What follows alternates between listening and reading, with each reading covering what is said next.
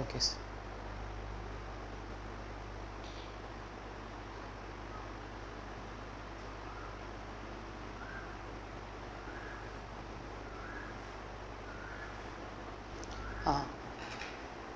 Hi students இன்றைக்கி வந்து நம்ம லாஸ்ட் கிளாஸ் வந்து என்ன பார்த்தோம் அப்படின்னா டுவெல்த்து ஃபிசிக்ஸ் வந்து லாஸ்ட் கிளாஸ் நம்ம பார்த்தோம். ஸோ இன்றைக்கி கிளாஸ் வந்து நம்ம எது கான்சன்ட்ரேட் பண்ணலாம் அப்படின்னா லெவன்த்து ஃபிசிக்ஸ் கொஞ்சம் கான்சென்ட்ரேட் பண்ணலாம் ஓகே ஏன்னா இன்னும் நம்மளுக்கு டைம் கம்மியாக தான் இருக்குது ஸோ அதனால் நான் அட்லீஸ்ட் வந்து try to complete Um, important topics அதுனாச்சும் நான் முடிச்சு கொடுக்கணும் அப்படின்னு பார்க்குறேன் ஆக்சுவலாக பிகாஸ் எனக்கு I have a less time to complete the portion so full syllabus முடிக்கிறது it is impossible one so அதனால் வந்து எங்களுக்கு அந்த கம்பல்சரி கொஷின்ஸ் எந்தெந்த பார்ட்டில் இருக்குது ஹை வெயிட்டேஜ் எதில் இருக்குது ஓகே ஸோ அதனாச்சும் நம்ம அட்லீஸ்ட் கொஞ்சம் கொஞ்சமாக கான்சன்ட்ரேட் பண்ணி சீக்கிரம் முடிக்க பார்க்கலாம். ஸோ அட்லீஸ்ட் எனக்கு நீ க்ளோஸ் பண்ணும்போது ஒரு நியர்லி ஒரு ஃபிஃப்டீன் டு டுவெண்ட்டி கொஷின்ஸ்னாச்சும் அதுக்கான கண்டென்ட் இம்பார்ட்டன்ட் டாபிக்ஸ்னாச்சும் முடிச்சிருக்கணும் அப்படின்னு பார்க்குறேன் நான். ஸோ அதனால் ஜஸ்ட் லைக் தட் அப்படியே பிளாங்காக விட்டுறாமல் எடுக்கிறது எல்லாமே இம்பார்ட்டண்டான லெசன்ஸ் மட்டும்தான் எடுத்துகிட்டு இருக்கேன் பிகாஸ் நம்மளுக்கு டைம் கம்மிங்கிறதுனால ஹை வெயிட்டேஜ் டாபிக்ஸ் மட்டும் நான் உங்களுக்கு கொடுக்குறேன். ஸோ இன்றைக்கி வந்து நம்ம கொஞ்சம் லெவன்த்து பார்ட் போகலாம் ஏன்னா ஃப்ரம் த பிகினிங்லேருந்து நம்ம டுவெல்த்து தான் பார்த்துட்டு இருக்கோம்.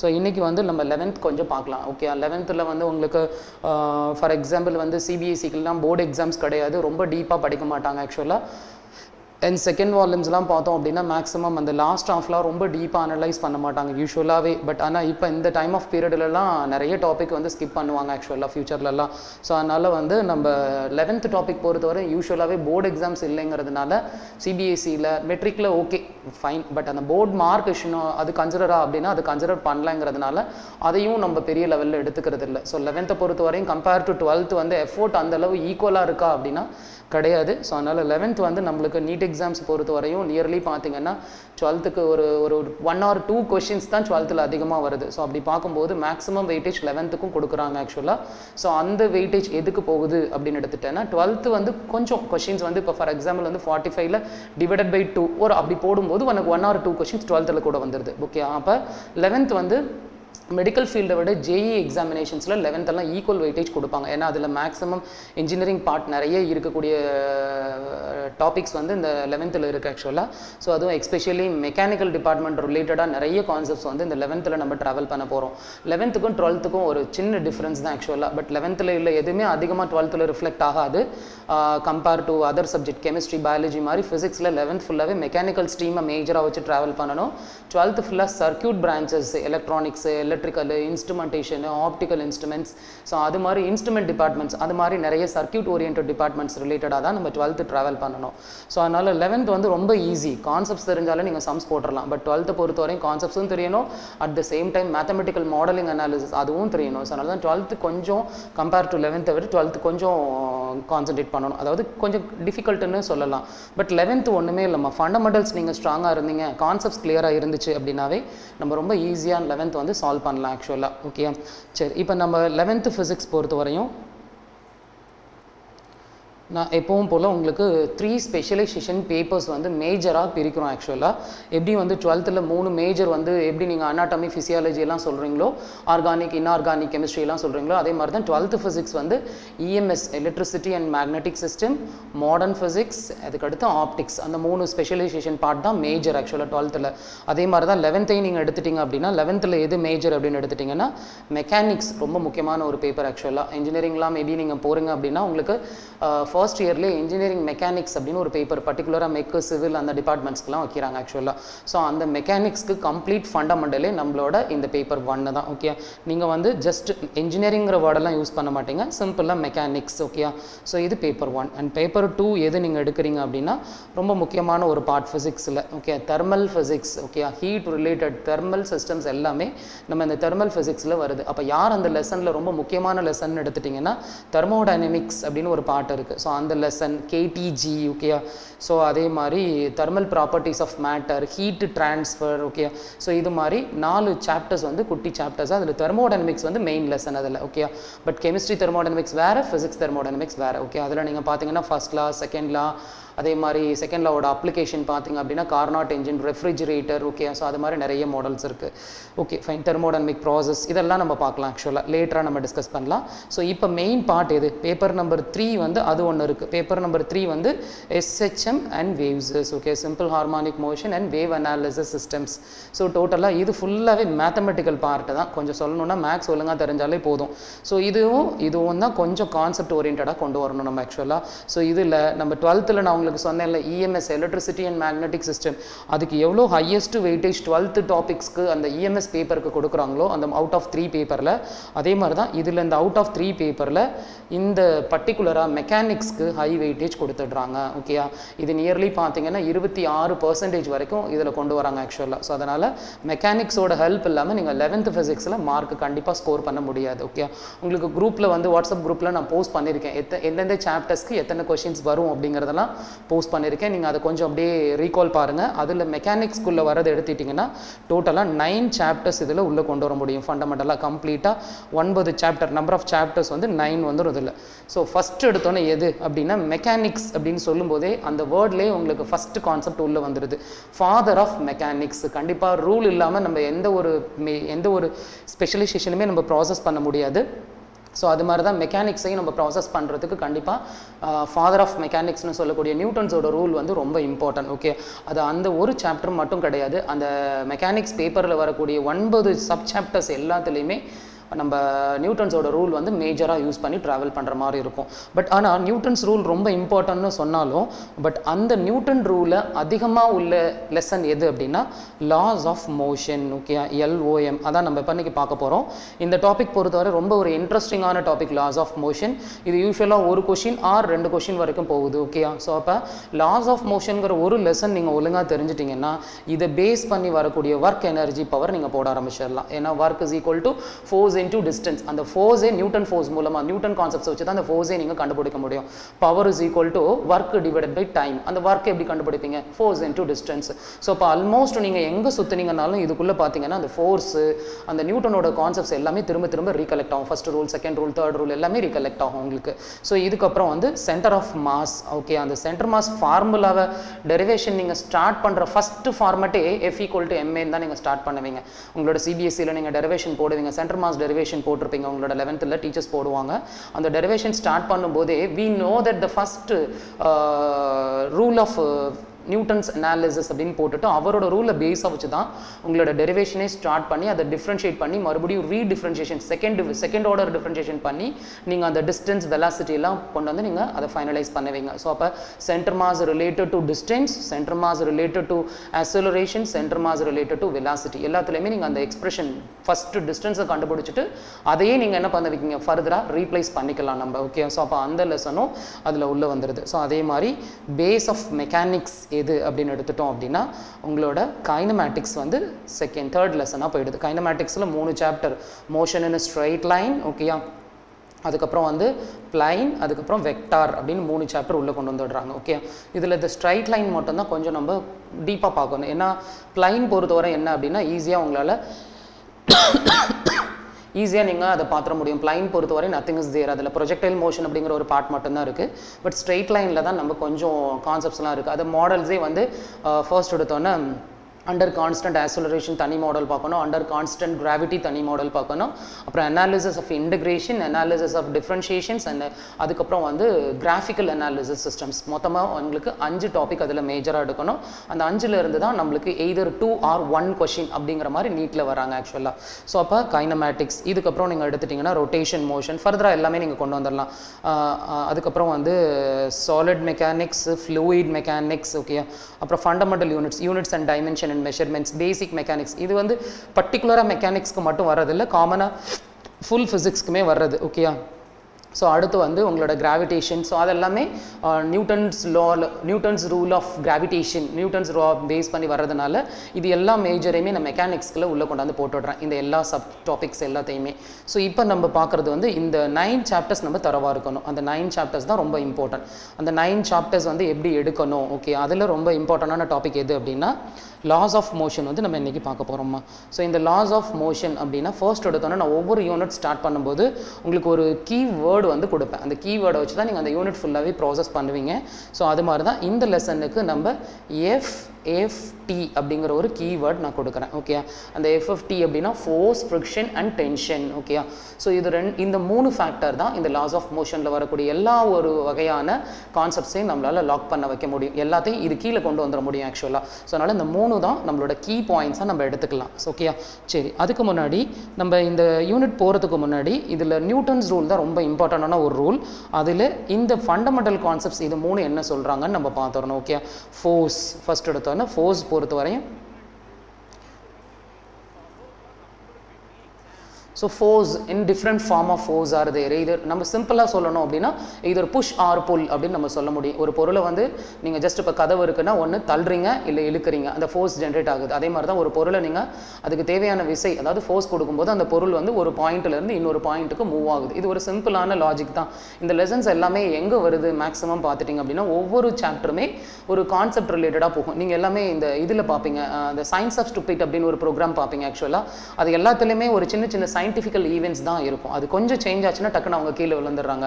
ஸோ அது மாதிரி தான் இந்த லாஸ் ஆஃப் மோஷன் எஸ்பெஷலி இந்த நியூட்டன்ஸ் அனாலிசிஸ் சிஸ்டம்ஸ் எந்த கான்செப்ட்ஸ் எது ரிலேட்டட் கான்செப்ட்ஸ் அதிகமாக நம்ம இந்த சாப்டரில் நம்ம சிலபஸில் ட்ராவல் பண்ண போகிறோம் அப்படின்னா வெஹிக்கிள் மெக்கானிசம் அதாவது bike mechanism or otherwise car அதாவது சர்ஃபேஸ் ரிலேட்டட் வெஹிக்கிள்ஸ் இதெல்லாம் நீங்கள் வேணாலும் எடுத்துக்கலாம் லாரியோ பைக்கோ பஸ்ஸோ ட்ரக்கோ whatever it maybe but ஆனால் சர்ஃபேஸில் ஆப்ரேட் பண்ணக்கூடிய வெஹிக்கிள்ஸ் ஓகேயா ஸோ அதுக்கு அதில் எது வராது அப்படின்னா ஃப்ளைட்டும் ஷிப்பும் உள்ளே கொண்டு வர முடியாது மற்ற ரிலேட்டட் எல்லாமே உங்களோட இந்த லெசனுக்குள்ள கான்செப்ட்ஸ் தான் நம்ம கொண்டு வர முடியும் ஏன்னா நீங்கள் வந்து இப்போ யூஸ்வலாக வந்து பைக் வீலிங்லாம் நம்ம பண்ணுறாங்க நிறைய பேர் பார்த்துருப்பீங்க சென்னையில் பார்த்தீங்கன்னா இப்போ நம்ம டியூக்கு கேடிஎம் அந்த மாதிரி பைக்ஸ்லாம் வச்சு வீலிங்லாம் பண்ணும்போது ஜஸ்ட் ஃப்ரண்ட் டயரை வந்து ஹோல்ட் பண்ணி ஜஸ்ட் ஃப்ரண்ட் டயரை அழுத்திட்டு பேக் டயரை தூக்குறது ஓகே அதே மாதிரி ஃப்ரண்ட் டயர் அழுத்தி அது ஒரு டிஸ்க் மாதிரி ரொட்டேட் பண்ணுறது ஆங்கிள் டிகிரி ஒரு சிலர்லாம் பார்த்தீங்கன்னா high risk three sixty degree எல்லாம் ரொட்டேட் பண்ணுவாங்க ஓகே ஸோ அந்த மாதிரி ரொட்டேட் பண்ணும்போது பைக் மேலே அப்போட் போகும்போது டிகிரி உனக்கு இன்க்ரீஸ் ஆக ஆரம்பிக்குது. Forty five degree forty okay so அந்த மாதிரி சம் டிகிரி சர்ஃபேஸ்லேருந்து ஒரு பர்டிகுலர் டிகிரி போகுது. அப்போ போகும்போது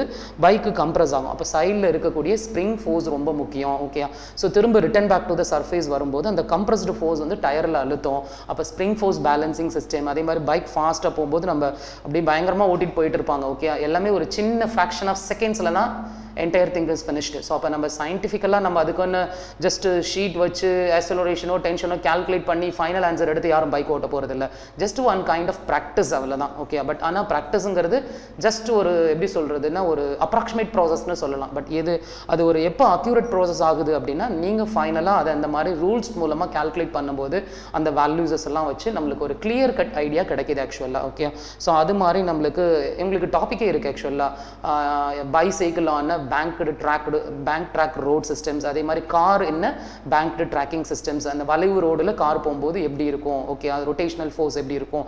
ஸோ அது மாதிரி ஃபர்தராக உங்களுக்கு இந்த யூனிட்டோட எண்டு டாபிக்ஸ் எல்லாமே கொண்டு வராங்க ஆக்சுவலாக ஸோ இப்போ ஃபர்ஸ்ட் ஃபோர்ஸை பொறுத்தவரை நிறைய டைப் ஆஃப் ஃபோர்ஸ் இருக்குது ஆக்சுவலாக நீங்கள் டைப் ஆஃப் ஃபோர்ஸ்னு எடுத்துட்டிங்கன்னா எலக்ட்ரோஸ்டாட்டிக் ஃபோர்ஸ் இருக்குது ஓகே அதே மாதிரி மேக்னெட்டிக் ஃபோர்ஸ் இருக்குது ஏன்? இப்போ நம்ம பார்த்துட்டு இருக்கிறது லெவன்த் வந்து ரிலேட்டட் டு மெக்கானிக்கல்னு சொன்னேன். அப்போ மெக்கானிக்கல் டிபார்ட்மெண்ட் மெக்கானிக்கல் டிபார்ட்மெண்ட் ரிலேட்டடாக ஃபண்டமெண்டல் ஃபோர்ஸஸாக எதை சொல்கிறாங்க அப்படின்னா அது எஸ்பெஷலி இந்த மெக்கானிக்ஸில் வரக்கூடிய ஹீட் நம்ம இதெல்லாம் இருக்கும். கெமிக்கல் ஃபோர்ஸ் பற்றியெல்லாம் இருக்குது ஆக்சுவலாக ஸோ அதெல்லாம் வந்து இல்லை. நான் சொல்கிறது என்னென்னா ஜஸ்ட் மெக்கானிக்ஸில் மட்டும் நம்ம பார்க்கக்கூடிய ஃபண்டமெண்டல் ஃபோர்ஸாக எடுத்துக்கிறோம். எதனா frictional force normal force resultant force okay main force tension force இதெல்லாமே is a type of forces தான். பட் இதெல்லாமே மெக்கானிக்ஸில் யூஸ் பண்ணக்கூடிய டிஃப்ரெண்ட் டைப் ஆஃப் ஃபோர்ஸ் அதாவது விசைன்னு சொல்கிறோம் ஸோ இது வந்து நம்மளுக்கு மெக்கானிக்கல் ரிலேட்டடாக அதுலேயும் மெக்கானிக்கலில் நிறைய பார்ட் இருக்குது அதில் நீங்கள் எடுத்துக்கிறது மெக்கானிக்ஸ் ரிலேட்டடான ஃபண்டமெண்டல் ஃபோர்ஸஸ் மட்டும் நம்ம இந்த லெசனில் நம்ம கான் இந்த இந்த பர்டிகுலராக லாஸ் ஆஃப் மோஷனில் நம்ம கன்சிடர் பண்ணுறோம் ஓகே அப்போ ஃபோர்ஸை பொறுத்தவரை push or pull general concepts இது ஓகே அடுத்து ரெண்டாவது எது எந்த டாபிக் போகிறோம் அப்படின்னா ஃப்ரிக்ஷன் ரொம்ப முக்கியமான ஒரு டாபிக் ஃப்ரிக்ஷன் அதாவது இதை வந்து எஃப்னு சொல்கிறீங்க இதுவும் நியூட்டன் தான் எஸ்ஐ யூனிட் ஃப்ரிக்ஷனை ஸ்மால் எஃப்னு சொல்கிறேன் எல்லா ஃபோர்ஸுமே is comes under the SI unit of Newton தான் ஓகே பட் நொட்டேஷன்ஸ் மட்டும் நம்ம மாற்றிக்கணும் நார்மல் ஃபோர்ஸ் அப்படின்னா என்னன்னு சில டெக்ஸ்ட் புக்கில் ஆர் கேபிட்டல் ஆர்னு கொடுக்குறாங்க. ஃப்ரிக்ஷனுக்கு ஸ்மால் எஃப் ஓகே ஸோ அதே மாதிரி gravity force F equal to MG அப்படிங்கிற ஒரு கான்செப்ட் நம்ம யூஸ் பண்ணிக்கிறோம் ஓகே ஸோ இது மாதிரி நம்ம ஃபோர்ஸ் நிறைய ஃபார்ம் இப்போ ரொம்ப முக்கியமான கான்செப்ட் எது அப்படின்னா இந்த ஃப்ரிக்ஷன்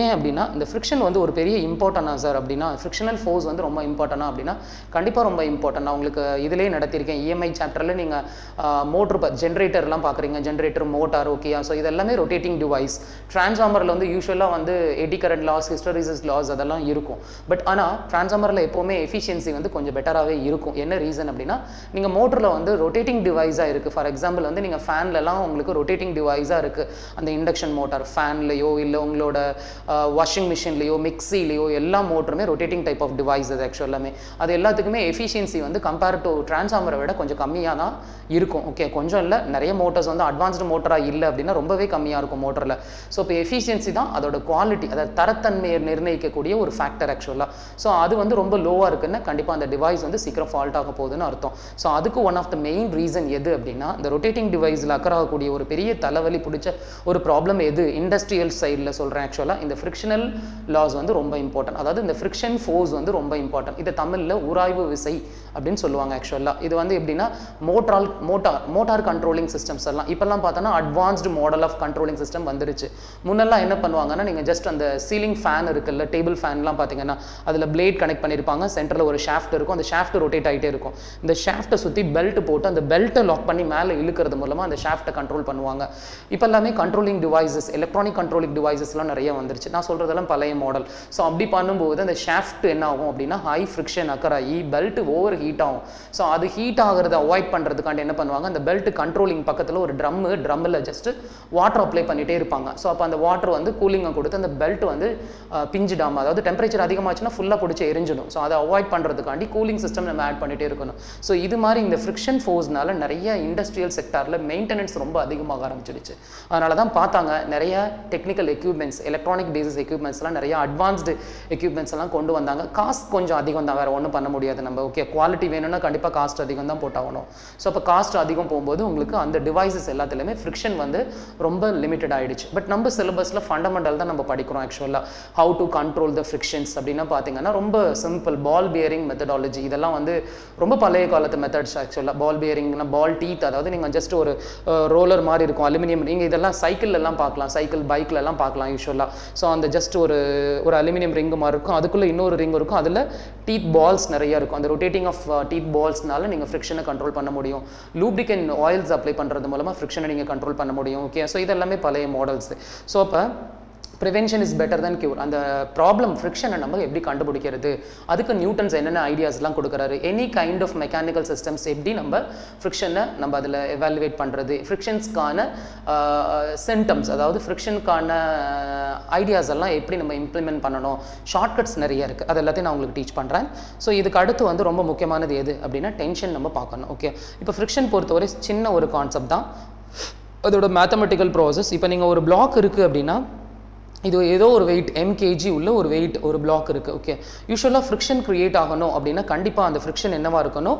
சர்ஃபேஸ் கூட ரிலேட்டடாக இருக்கணும். இதை கான்டாக்ட் ஃபேக்டர் அப்படின்னு கூட சொல்லலாம் ஆக்சுவலாக அந்த சர்க்கியூட் அந்த பர்டிகுலராக அந்த சர்ஃபேஸ் இருக்குது ஃபார் எக்ஸாம்பிள் வந்து எனக்கு இது ஒரு சர்ஃபேஸ் அப்படின்னு எடுத்துட்டிங்க. இது ஒரு சர்ஃபேஸ் அப்படின்னா இப்படி ஸ்லாண்டிங்காக நான் வைக்கிறேன். ஒரு ஃபார்ட்டி ஃபைவ் டிகிரியில் இருக்குது அப்படின்னா நான் ஜஸ்ட் இந்த பென் இருக்குது இங்கே வைக்கிறேன். இது விட்டோன்னு சரன்னு கீழே வந்துடுது ஓகே ஸோ இதே மாதிரி தான் நீங்கள் இமேஜின் பண்ணுறீங்க let us consider two surface so ஒன்னை வந்து எஸ்எஸ் எஸ்எஸ்னு சொல்கிறோம் இன்னொன்று ஆர்எஸ் அப்படின்னு சொல்கிறோம் சம்ஸ் போடும்போது ரொம்ப கேர்ஃபுல்லாக நம்ம இது எல்லாத்தையும் வாட்ச் பண்ணணும். சி நான் ஸ்டோரி சொல்லலை. இது அவ்வளவும் சம்முக்கு ரிலேட்டடான கான்செப்ட்ஸ் ஸோ அப்போ ஸ்மூத் சர்ஃபேஸ் அப்படின்னு நம்ம எடுத்துக்கிட்டோம் அப்படின்னா ஒரு பால் நீங்கள் இமேஜின் பண்ணுறீங்க அப்படின்னா அந்த பால் ஃபாஸ்ட்டாக அதால் கீழே வர முடியும்.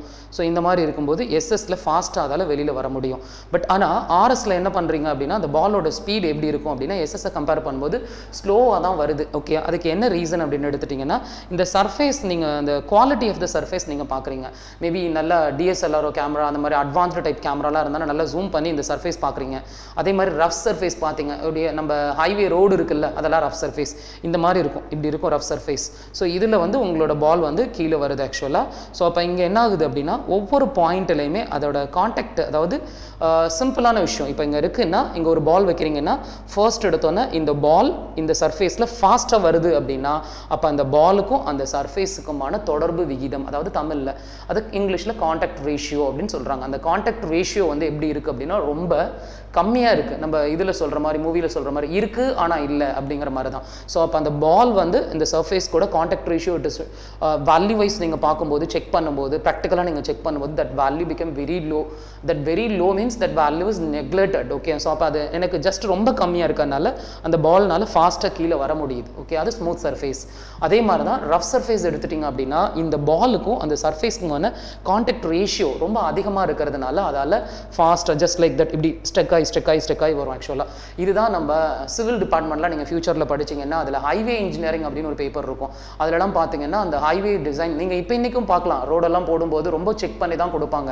ஏன்னா அந்த ரோடு பொறுத்த வரையும் நீங்கள் அந்த தார்லாம் யூஸ் பண்ணுறாங்க மெட்டீரியல் நிறைய இருக்குது ஆக்சுவலாக அதெல்லாம் யூஸ் பண்ணும்போது அதோட குவாலிட்டி ஆஃப் த சர்ஃபேஸ் ரொம்ப இம்பார்ட்டன்ட் ஏன்னா ரொம்ப ரஃப்பாக போயிடுச்சுனாலும் உங்களுக்கு கார் போகிற வேகத்தில் அவ்வளோதான் பயங்கர ஃப்ரிக்ஷன் ஆகி என்ஜின் சீஸ் ஆகி என்ஜின் பிடிச்சி நீ காருக்குள்ள உட்காந்துருக்கும் போதே எரிய ஆரம்பிச்சிடும். அண்ட் ஒன் மோர் திங் ஸ்மூத்தாக இருந்துச்சுன்னா மழை காலத்தில் தண்ணி இருக்கும்போது ஸ்கிட் ஆகி ஸ்கிட் ஆகி ஃபுல்லாக கார் ஆக்சிடென்ட் ஆகும். அப்போ அந்த மாடரேட் லெவல் தான் சர்ஃபேஸ்க்கு ரொம்ப பெட்டர் ஆக்சுவலாக வெஹிக்கல் சிஸ்டம்ஸ்க்கு ரொம்ப இம்பார்ட்டன்ட்மா ஏன்னா நீ பைக் வந்து எவ்வளோ ஃபாஸ்ட்டாக போகிறேங்கிறது பிரச்சனை கிடையாது. அந்த ரோடு அந்த சர்ஃபேஸ் எப்படி இருக்குது அதை பேஸ் பண்ணி தான் நம்ம பைக்கில் வீலிங் பண்ணுறது ஃபாஸ்ட்டாக போகிறது நம்ம பயங்கரமாக ஓட்டி காமிக்கிறது இதெல்லாம் நம்ம இந்த ட்ரிக்கீஸ் எல்லாம் நம்ம பண்ண முடியும் ஓகே ஸோ இல்லை அப்படின்னா எதையுமே பார்க்காம நம்ம குருட்டாம்போக்கில் ஓட்டோன்னா போய் நடு ரோட்டில் டக்குன்னு கீழ வேண்டியதான் எவ்ரி திங் கெட் க்ளோஸ்ட் அவ்வளோதான் முடிஞ்சு போச்சு ஓகே மற்றவங்களாம் பார்த்து சிரிக்க வேண்டியதான் ஸோ அதனால் நம்ம எது பண்ணுறோமோ அதை கரெக்டாக ஒரு சயின்டிஃபிக்கலாக நம்ம அதை பண்ணணும் ஆக்சுவலாக அதுதான் வே ஆஃப் ப்ராக்டிஸ் வந்து இஸ் மோஸ்ட் இம்பார்ட்டன்ட் ஸோ அது மாதிரி இப்போ நான் ஜஸ்ட் சர்ஃபேஸ் இமேஜின் பண்ணியிருக்கேன் இந்த சர்ஃபேஸ் இமேஜின் பண்ணுறேன் அந்த சர்ஃபேஸ் வந்து இப்போ ஃபார் எக்ஸாம்பிள் ஒரு ஸ்மூத் சர்ஃபேஸாக இருக்குது அப்படின்னா கண்டிப்பாக அந்த சர்ஃபேஸில் இந்த பிளாக்குக்கும் ஓகே இந்த பிளாக்குக்கும் இந்த சர்ஃபேஸுக்குமான கான்டாக்ட் ரேஷியோ ரொம்ப லோவாக இருக்கும். நான் ஒரு ஃபோர்ஸ் கொடுத்து நான் மூவ் பண்ணுறேன் ஓகே எம்கேஜி உள்ள பிளாக் ஓகே இது ஒரு ஃபோர்ஸ் நான் கொடுத்து மூவ் பண்ணுறேன் பட் ஆனால் இதில் ஃப்ரிக்ஷன் நம்ம கன்சிடர் பண்ண முடியாது ஓகே இதில் ஒரு சிம்பிளான லாஜிக் நான் சொல்லிடுறேன். ஃப்ரிக்ஷன் அப்படிங்கிறது ஒரு மதர் மாதிரி இந்த மதருக்கு வந்து ரெண்டு சன் இருக்காங்க. ரெண்டு சன்னுனா யார்? ஃபஸ்ட்டு சன் யார் அப்படின்னு எடுத்துட்டிங்கன்னா என் அப்படிங்கிற ஒரு ஃபஸ்ட்டு சன் இன்னொரு சன் யார் அப்படின்னா எம்ஜிங்கிற இன்னொரு சன் இருக்காங்க ஓகே ஸோ இதை வந்து நார்மல் ஃபோர்ஸ் அப்படின்னு நம்ம சொல்கிறோம் இதை கிராவிட்டி ஃபோர்ஸ் அப்படின்னு சொல்கிறோம் இந்த ரெண்டு பேர் இந்த ஃப்ரிக்ஷனோட இம்பார்ட்டண்டான சஃபேக் சப் ஃபோர்ஸஸ் அப்படின்னு சொல்கிறாங்க ஆக்சுவலாக ஓகே ஸோ அதான் நான் உனக்கு சொல்லிட்டேன். எஃப்ங்கிறது அம்மா மாதிரி என்என் எம்ஜிங்கிறது அதோட சன் மாதிரி. இப்போ என்ன தான் ரெண்டு பசங்க இருந்தாலும் மம்மியை பொறுத்தவரை யாரோ ஒருத்தர் தான் ரொம்ப பிடிக்கும் ஆக்சுவலாக ஓகே சம்திங் ஃப்ரீக்வன்சி அது கொஞ்சம் மேட்ச் ஆகும் அந்த பையன் கூட. ஸோ அப்போ அவனை வந்து கொஞ்சம் பிடிக்கும். அது மேபி எது எனி ஒன்னாக இருக்கலாம். பட் இங்கே வந்து எப்படி யார் அந்த இம்பார்ட்டன்ஸ் யாருக்கு போகுது அப்படின்னா இந்த ரெண்டுமே டியூன் ஆனாலும் ஃப்ரிக்ஷன் சேஞ்ச் ஆகும். இது ரெண்டில் நீ கை வச்சேனாலும் ஃப்ரிக்ஷன் ஹையாக வரும். கண்டிப்பாக ஹையாக வரும். ஆனால் இதில் ஒன்றில் கை வச்சா ரொம்ப ஹையாக டிஃப்ளெக்ட் ஆகும். அது எது அப்படின்னு எடுத்துட்டிங்கன்னா இந்த நார்மல் ஃபோர்ஸ் தான் ரொம்ப ரொம்ப இம்பார்ட்டண்டான ஒன்றா நம்ம இமேஜின் பண்ணுறோம் ஏன்? இந்த நார்மல் ஃபோர்ஸ் தான் ஃப்ரிக்ஷனை க்ரியேட் பண்ணுறதுல மேஜர் ரோலாக இருக்குது அப்போ எம்ஜி இல்லையா சார்னு ஆர்கியூ பண்ணல. ரெண்டையும் நாங்கள் செக் பண்ணும்போது ப்ராக்டிக்கலாக செக் பண்ணும்போது எம்ஜி வேல்யூவை விட என்னோட வேல்யூ வந்து கொஞ்சம் ஃப்ரிக்ஷன் அதிகப்படுத்துறதுக்கு மெயின் ஃபேக்டராக இருக்குது இதெல்லாமே உங்களுக்கு ஹையர் ஸ்டடீஸில் வந்தீங்கன்னா அப்படின்னா லெபார்ட்ரிஸ் இருக்குது நிறைய லேபில் பண்ணக்கூடிய ரிசல்ட்ஸ் மூலமாக தான் நம்ம கான்செப்ட்ஸே புரிஞ்சுக்க முடியும் ஆக்சுவலாக ஸோ அப்போ அதில் அவங்க என்ன சொல்கிறாங்க அப்படின்னா ஒரு சிம்பிளான டெஃபினேஷன் கொடுக்குறாங்க. உங்களுக்கு ஒரு பிளாக் வந்து ரிலேட்டட் டு த சர்ஃபேஸ் அதாவது காண்டாக்ட் ரேஷியோ அதிகமாக இருக்குது அப்படின்னா நீங்கள் சிம்பிள் எஃப் அப்போ கண்டிப்பாக காண்டாக்ட் ரேஷியோ அதிகமாக இருக்குன்னா அந்த சர்ஃபேஸ் என்னவா இருக்கணும்?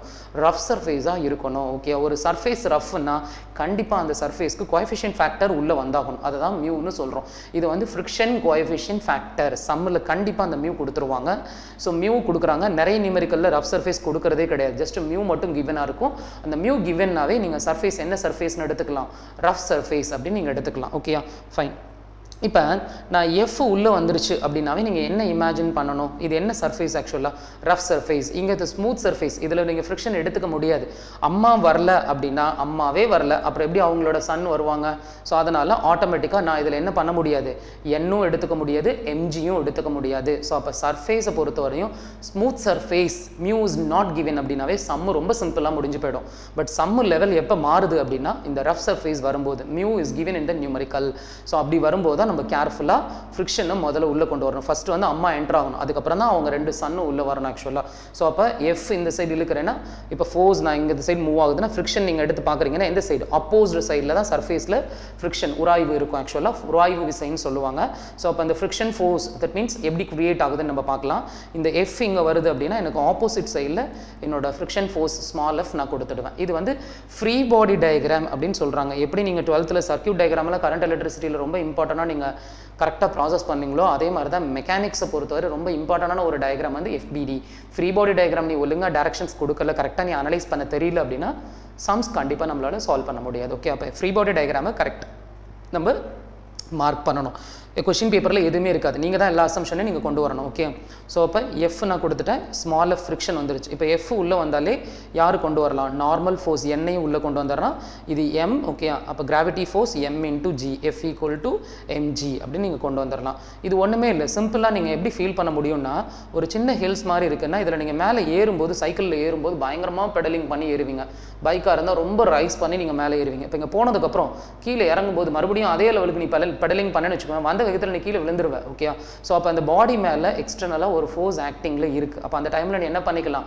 இன்டர்னல் ஃபோர்ஸை ரிமூவ் பண்ணிக்கலாம் பாடியிலேருந்து ஸோ அப்போ அந்த எக்ஸ்டர்னல் ஃபோர்ஸ் வந்து ஒரு பெரிய லெவலுக்கான ஃபோர்ஸ் ஆப்ஜெக்ட்டுக்கு மேலே உள்ள ஒரு ஃபோர்ஸ் அது ஆக்சுவலாக ஓகே அதுதான் உன் ஆப்ஜெக்டை ப்ராசஸ் பண்ணுது. அதை தான் உங்களுக்கு நார்மல் ஃபோர்ஸ் அப்படின்னு என் அப்படின்னு கேபிட்டல் என் அப்படின்னு டினோட் பண்ணுறோம் நம்ம ஆக்சுவலாக ஸோ அதை நீங்கள் கன்சிடர் பண்ணுறீங்க அப்படின்னா கண்டிப்பாக நீங்கள் ஃப்ரிக்ஷனை எடுத்து தான் ஆகணும்.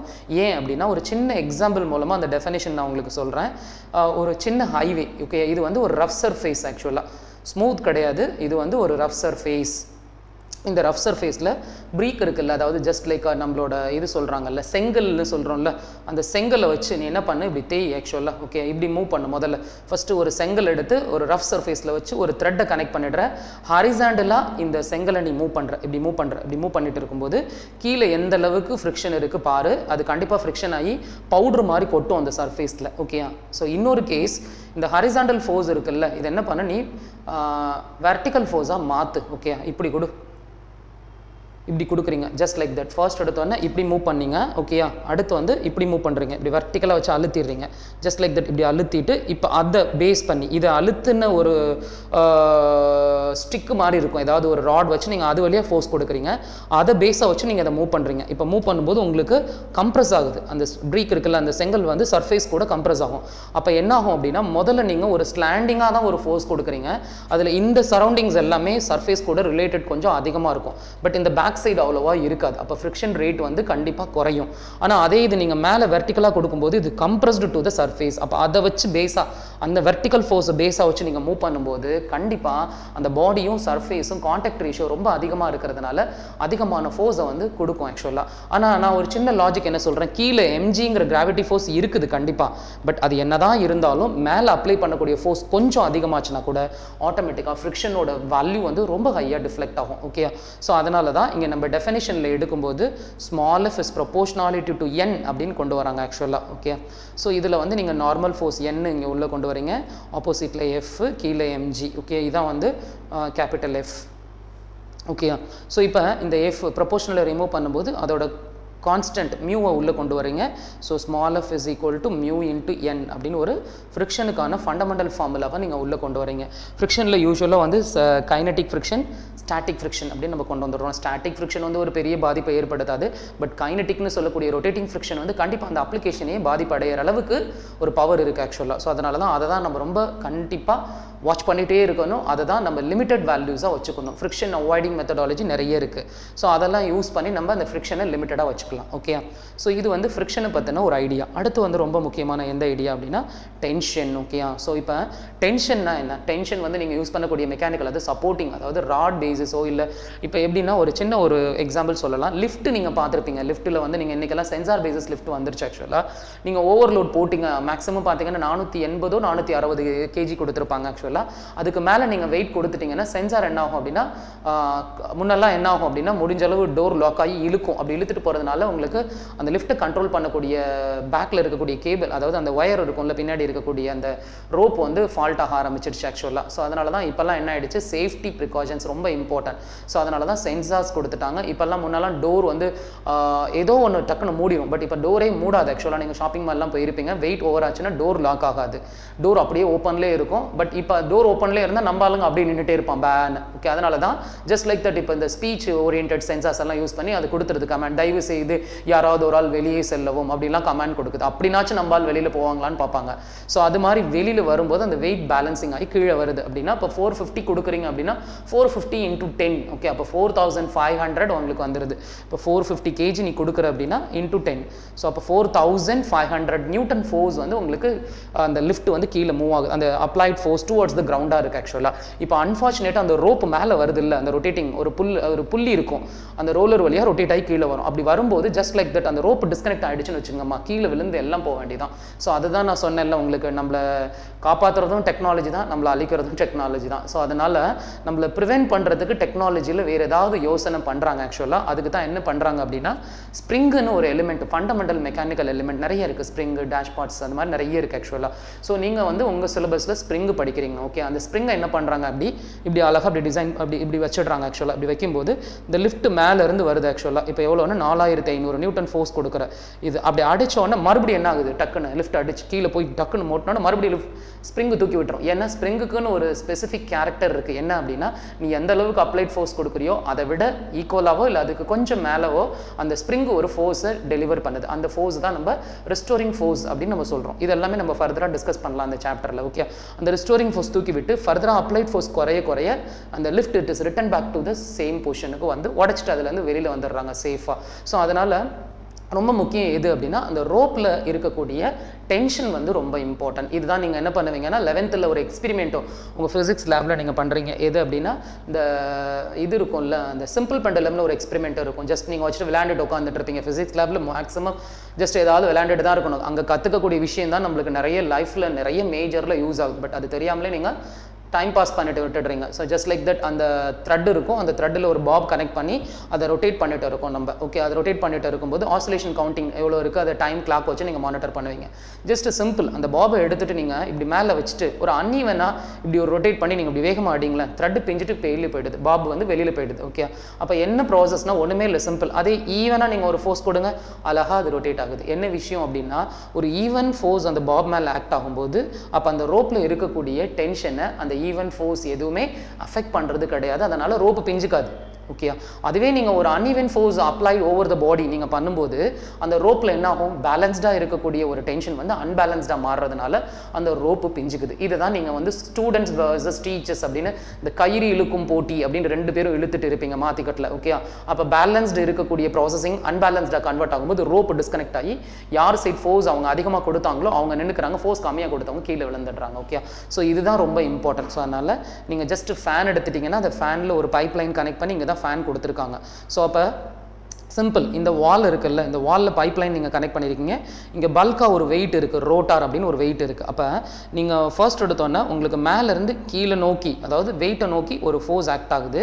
டவுன்வேர்ட் அதே மாதிரி இந்த வெயிட்லேருந்து மேலே வாலை நோக்கி ஒரு அப்வேர்ட் ஃபோர்ஸ் ஓகே இதை தான் நம்ம பிட்வீன் வால் அண்டு ஃபேனுக்கான அந்த டேரக்ஷன்ஸை நீங்கள் மார்க் பண்ணியிருக்கீங்க இந்த ஃபோர்ஸை தான் நம்ம டென்ஷன் ஃபோர்ஸ் அப்படின்னு சொல்கிறோம் ஓகே ஸோ இப்போ இதில் ரெண்டு டைப் இருக்குது ஒன்று வந்து பேலன்ஸ்டு டென்ஷன் இன்னொன்று அன்பேலன்ஸ்டு டென்ஷன் ஓகே இப்போ இதெல்லாம் எதுலலாம் யூஸ் பண்ணுறோம் ட்ரெயின்லலாம் நீங்கள் யூஸ் பண்ணுறீங்க ட்ரெயினில் வந்து என்ஜின் பாக்ஸ் இருக்குது என்ஜின் ட்ராக் லைன் கொடுத்துட்றீங்க. நிறைய கம்பார்ட்மெண்ட்ஸ் கொடுத்துட்றாங்க. இப்போ இது எல்லாத்துலையும் நீங்கள் பார்த்தீங்க அப்படின்னா எல்லாமே மெக்கானிக்கல்ஸ் தான்மா. ஃபுல்லாகவே மெக்கானிக்ஸ் அதிகமாக ட்ராவல் ஆகும். நம்ம இதில் ரயில்வே டிபார்ட்மெண்ட்லலாம் பார்த்தீங்கன்னா ஸோ இப்போ இங்கே ஒரு ஹூக் மாதிரி ஜாயின் பண்ணியிருப்பாங்க நீங்கள் ரயிலில் பார்த்தீங்கன்னா அப்படி ஒரு ஹூக் மாதிரி போட்டிருப்பாங்க. ஒரு கம்பார்ட்மெண்ட்டுக்கும் இன்னொரு கம்பார்ட்மெண்ட்டுக்கும் ஸோ அதுக்கு இடையே அந்த அந்த பர்டிகுலர் கனெக்டிங் ராடில் தான் உங்களுக்கு டென்ஷன் ஃபோர்ஸ் வந்து ட்ராவல் ஆகும் till end of the compartment வரைக்கும்.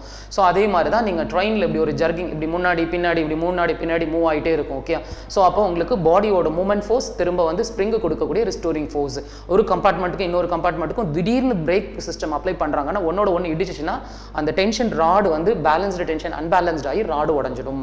அப்போ ட்ரெயின் என்ஜின் மட்டும் போக வேண்டியதான் நம்ம அங்கேயே உட்காந்துக்க வேண்டியதான் ஓகே ஸோ அதனால் இந்த இதை ப்ராப்ளமை கண்ட்ரோல் பண்ணதுக்கு தான் உங்களுக்கு கம்பார்ட்மெண்ட்ஸ்க்கு இடையில கீழே என்ன பண்ணுவாங்க ஸ்ப்ரிங்ஸ் கொடுத்துருவாங்க. பெரிய லார்ஜ் டைப் ஸ்ப்ரிங் அப்ளை பண்ணும்போது இது இப்படி அழுத்தி திரும்ப ரிட்டர்ன் பேக் ஆகும். ஓகே ஸோ அப்படிங்கிறனால அந்த ஜர்கிங் முன்னாடி போயிட்டு பின்னாடி வரோம்ல நம்ம ட்ரெயின்லலாம் பார்த்தீங்கன்னா அதே மாதிரி ஒரு கம்பார்ட்மெண்ட்டுக்கும் இன்னொரு கம்பார்ட்மெண்ட்டுக்கு இடையில ஒரு டிஸ்க் இருக்கும். அங்கே நிற்கும் போது அப்போ நார்மல் ஃபோர்ஸ் இருக்கும். என்ஜின் மெயின் ஃபோர்ஸ் அப்ளை ஆகும். திரும்ப ரெஸ்டோரிங் ஃபோர்ஸ் அப்ளை ஆகும். இவ்வளவும் ஒரு இடத்துல இருக்கும் அந்த இடத்துல. அந்த இடத்துல அதனால தான் நீங்கள் ஒரு ஒரு கான்ஸ்டன்ட்டாக உங்களால் நிற்க முடியாது. ட்ரெயினில் ரெண்டு கம்பார்ட்மெண்ட்டுக்கு இடையில அந்த ரெஸ்ட் ரூம் பக்கத்தில் ஒரு பிளேட் இருக்கும். ஓகே ஸோ இதெல்லாமே நீங்கள் லைவாக ஃபீல் பண்ணலாம். இந்த ஃபோர்ஸஸ் எல்லாத்துலேயுமே மெக்கானிக்கல் அப்ளிகேஷன்ஸ் நிறைய இருக்குது அதிலலாம் நீங்கள் ஃபீல் பண்ணலாம். ஸோ அதுதான். அப்போ பேலன்ஸ்டு டென்ஷன் இருக்கிறதா எப்போவுமே நல்லது. நம்ம மெக்கானிக்ஸை பொறுத்த வரையும் எப்போவுமே ஹெல்த்தி அசம்ஷன் மட்டும்தான் எடுத்துப்போம். அன்ஹெல்த்தி அசம்ஷன் எதுவுமே நம்ம பார்க்க மாட்டோம். ஓகே ஸோ இப்போ இப்போ பேலன்ஸ்டு டென்ஷன்னா எப்படி இருக்கணும் அப்படின்னு நம்ம பார்க்க போகிறோம் இப்போ ஒன்றுமே இல்லை ஒரு சிம்பிளான லாஜிக் சொல்கிறேன் இப்போ நான் இங்கே ஒரு பிளாக் ஒரு பர்சன் நிற்கிறான் இங்கே ஒரு பர்சன் நிற்கிறான் இப்போ நானும் அப்போசிட்டில் இன்னொருத்தன் நிற்கிறான் நாங்கள் ரெண்டு பேரும் ஒரு ரோப்பில் கனெக்ட் பண்ணியிருக்கோம் ஓகே ஸோ இப்போ அவங்ககிட்ட இருந்து எனக்கும் எங்கிட்ட இருந்து அவனுக்கும் ஒரு டென்ஷன் போயிட்டுருக்கு ஒரு டென்ஷன் ஃபோர்ஸ் இந்த ரோப் ஓகே இப்போ டேரக்ஷன்ஸ் எப்படி இருக்கணுமா? ரொம்ப முக்கியம். ஸோ அவங்ககிட்ட இருந்து எனக்குன்னு சொல்லிட்டேன் எங்கிட்ட இருந்து அவனுக்கு. அப்போ டேரக்ஷன்ஸ் எப்படி இருக்கணும்? ஒன்றுக்கு ஒன்று அப்போஸ்டாக இருக்கணும். ரொம்ப முக்கியம். ஏன்னா இந்த அசம்ஷன்லாம் நீங்கள் ஒழுங்காக பண்ணலைன்னா பேலன்ஸ்டு ஈக்குவேஷன் பண்ணுறதுக்கு பதிலாக அன்பேலன்ஸ்டு ஈக்குவேஷன் தான் உங்களுக்கு கிடைக்கும். அதை நீங்கள் சால்வ் பண்ணவே முடியாது. ஆன்சரே வராது அந்த ஈக்குவேஷன் அதனால தான் மெக்கானிக்ஸில் அசம்ஷன் கூட நீங்கள் கரெக்டாக பண்ணால் தான் உங்களுக்கு ரிசல்ட் வந்து அக்யூரேட் ரிசல்ட் கிடைக்கும் ஓகே ஸோ அப்போ அப்போஸ்டு டேரக்ஷனாக இருக்கணும். ஸோ ஃபஸ்ட்டு கண்டிஷன் பேலன்ஸ்டு டென்ஷனில் டேரக்ஷன்ஸ் எப்படி இருக்கணுமா? ஒன்றுக்கு ஒன்று அப்போஸ்டாக இருக்கணும். சேம் டேரக்ஷனாக இருந்தால் ஏதாவது ஒரு சைடு அதிகமாயிரும் ஏதாவது ஒரு சைடு கம்மியாகி ரோப்பு பிஞ்சிடும். ரோப்பு ரிமூவ் ஆகிடுச்சு பிஞ்சிடுச்சுனாவே அது அன்பேலன்ஸ்டு டென்ஷனாக மாறிடும் ஓகே ஸோ அப்போ எனக்கு அப்போஸ்டு டேரக்ஷனாக இருக்கணும். அடுத்து அந்த டென்ஷன் வேல்யூ எப்படி இருக்கணும்? இப்போ ரெண்டு பிளாக் இது பிளாக் நம்பர் ஒன்று இது block number two between two block அந்த இடையில இருக்கக்கூடிய ரோப்பில் அப்போஸ்டு பிளாக் ஒன்னுலேருந்து பிளாக் டூ பிளாக் டூலேருந்து பிளாக் ஒன் அந்த டேரக்ஷன் அப்போஸ்டாக இருக்கணும். பாயிண்ட் நம்பர் ஒன் இப்போ அந்த டேரக்ஷனுக்கு மேலே நம்ம டென்ஷன் ஒரு ரெஃபரன்ஸாக கொடுக்கணும் ஓகே உடனே நம்பாளுங்க என்ன பண்ணுவாங்க? ரெண்டு ஆரோ மார்க் இருக்குல்ல டி ஒன் டி டூ அவனுக்கு என்னெல்லாம் தோணுதோ எல்லாம் பண்ணுவான். அப்படிலாம் பண்ண முடியாது ஓகே ஸோ ஃபர்ஸ்ட் ரெண்டு பிளாக் இருக்கும்போது அந்த அசம்ஷன் பிட்வீன் த பிளாக் அந்த டென்ஷன் எப்படி எடுக்கணும் அப்படின்னா between two block how many tensions நீ எடுப்ப? இந்த டயலாக் வந்து இந்த யூனிட் ஃபுல்லாகவே வரும். நிறைய நியூமெரிக்கல்ஸில் இது வரும் ஓகே அப்போ பிட்வீன் டூ பிளாக் நான் எடுக்கக்கூடிய டென்ஷன் ஓகே நீங்கள் என்ன எடுப்பீங்கன்னா உடனே இந்த இடத்துல டி ஒன் ஓகே இங்கே டி டூ அப்படிலாம் எடுக்க முடியாது okay bit between two block நீங்கள் டூ டென்ஷன்ஸ் எடுத்துட்டீங்கன்னா அந்த டென்ஷன்ஸ் டி ஒன் டூன்னு நீங்கள் இண்டிகேட் பண்ணுறீங்கன்னா அந்த ஒன் அண்ட் டூ இண்டிகேட் பண்ணும்போது அது வேறு டென்ஷனை இண்டிகேட் பண்ணுது ஆக்சுவலாக அதனால தான் நீங்கள் அதை டிஃப்ரென்ஷியேட் பண்ணுறீங்க ஒன்று டூ ஒன்று அப்போ நீங்கள் ஒரு டபுள் பிளாக் அதாவது டபுள் பிளாக்ல பிட்வீன் ரெண்டு பிளாக்குக்கு இடையில வேற வேற டென்ஷனை நீங்கள் இமேஜின் பண்ணீங்கன்னா அந்த ரோப் வந்து பிஞ்சுக்குமா அது அன்பேலன்ஸ்டு டென்ஷன் ஆகிடும் ஸோ அப்போ அன்பேலன்ஸ்டு டென்ஷன் ப்ராசஸ் எதையுமே நம்ம பண்ண முடியாது. ஸோ அப்படிங்கிறனால நான் என்ன பண்ண முடியாது? டி ஒன் டி டூன்னு எடுக்கக்கூடாது. ஓகேயா எப்படி எடுக்கலாம் அப்படின்னா between two block single tensions தான் நீங்கள் இமேஜின் பண்ண போகிறீங்க அதை டி டி அப்படின்னு தான் நீங்கள் எடுக்கணும் ஓகே அப்போ தான் கரெக்டாக வரும். ஸோ அப்போ இந்த ரெண்டு பிளாக்குக்கு பிட்வீனில் உங்களுக்கு அப்போஸ்டு ஏரோ மார்க்ஸ் இருக்குது இந்த அப்போஸ்டு ஏரோ மார்க்குக்கு பிட்வீனில் என்ன பண்ணுங்கள் ஒரு ரெஃபரன்ஸ் லைன் ஒன்று சின்னதாக கட் பண்ணிக்கோங்க. அது கட் பண்ணும்போது உங்களுக்கு ஈக்குவேஷன்ஸ் ஜென்ரேட் ஆகிடும் அழகாக எத்தனை டிவிஷன்ஸ் இருக்கோ அத்தனை டிவிஷன்ஸ்க்கு தகுந்த மாதிரி நீங்கள் அதை நியூட்டன்ஸ் ரூல் அப்ளை பண்ணி நீங்கள் ஈக்குவேஷனாக கன்வெர்ட் பண்ணி சம் ஈஸியாக போட்டு போயிட்டே இருக்கலாம். ஓகே ஸோ அப்போ மூணு பிளாக் இருக்குன்னா ஃபார் எக்ஸாம்பிள் வந்து இப்போ நான் இங்கே நிற்கிறேன் என்னோட லெஃப்ட் சைடில் ஒருத்தர் இருக்கான் ரைட் சைடில் ஒருத்தர் இருக்கான். இழுத்துட்டு இருக்காங்க எல்லாமே பேலன்ஸ்டாக இருக்குது ஓகே பட் இப்போ அவன் எனக்கு கொடுக்க ரைட் ஹேண்டுக்கு கொடுக்கக்கூடிய ரோப்பில் இருக்கக்கூடிய ஃபோர்ஸும் என்னோட லெஃப்ட் ஹேண்டில் இருந்து லெஃப்ட் சைடில் நிற்கக்கூடிய அவன் இருக்கான்ல அவன் அந்த ரோப்பில் கொடுக்கக்கூடிய ஃபோர்ஸ் எப்படி இருக்குன்னா இது இஸ் மஸ்ட் பி ஈக்குவலாக இருக்கலாம். இந்த சைடு இஸ் மஸ்ட் பி ஈக்குவலாக இருக்கலாம். ஆனால் வேல்யூ வைஸ் நீங்கள் செக் பண்ணும்போது இவன் எனக்கு இங்கே கொடுத்துட்டு இருக்கக்கூடியதும் இவன் எனக்கு இங்கே கொடுத்துட்டு இருக்கக்கூடிய அந்த நெட் ஃபோர்ஸ் இந்த ரோப் இங்கே ரெண்டு சைடும் நீங்கள் செக் பண்ணுறீங்க என்னோட ரைட் சைடு லெஃப்ட் சைடு ரெண்டுமே இது ரெண்டையும் செக் பண்ணும்போது இந்த ரெண்டு வேல்யூமே எனக்கு நாட் ஈக்குவலாக தான் இருக்குது ஆக்சுவலாக ஸோ அதனால தான் நீங்கள் ஏதாவது ஒரு சைட் நம்ம டி ஒன் ஒரு சைட் டி டூ எடுத்துடலாம். அது ஏதாவது ஒரு சைடுனோட நம்ம இஷ்டத்துக்கு எடுக்க முடியாது. ஸ்கூல்ஸில் வேணால் நீங்கள் அசம்ஷன் எப்படி வேணாலும் எடுக்கலாம். பிகாஸ் உங்கள் ஸ்கூல் டீச்சர்ஸ் வந்து the will give the marks ஏன்னா அவங்கள பொறுத்த வரையும் ஒரு டென் நியூட்டன் வருதுன்னா இவங்க நம்ம டீச்சர்ஸ் பொறுத்த வரையும் சிக்ஸ் நியூட்டன்லேருந்தே மார்க் கொடுக்க ஆரம்பிச்சிருவாங்க எல்லாருக்குமே. ஸோ பட் என்ட்ரன்ஸில் அப்படி கிடையாது. பாயிண்ட் டூக்கு முத கொண்டு இங்கே கரெக்டான அக்யூரேசி ரிசல்ட்டை எடுப்பாங்க என்ட்ரன்ஸில் ஸோ அதனால் இப்போ ஃபார் எக்ஸாம்பிள் வந்து இப்போ ரெண்டு பிளாக் இருக்குன்னா அது ரெண்டு பிளாக் பிட்வீனில் சிங்கிள் டென்ஷன் வந்துடும் இப்போ மூணு பிளாக் இருக்குன்னா நான் ஃபோர்ஸ் இங்கே கொடுக்குறேன். எவ்வளோனா ஒரு நூறு நியூட்டன் ஃபோர்ஸ் நான் கொடுக்குறேன்.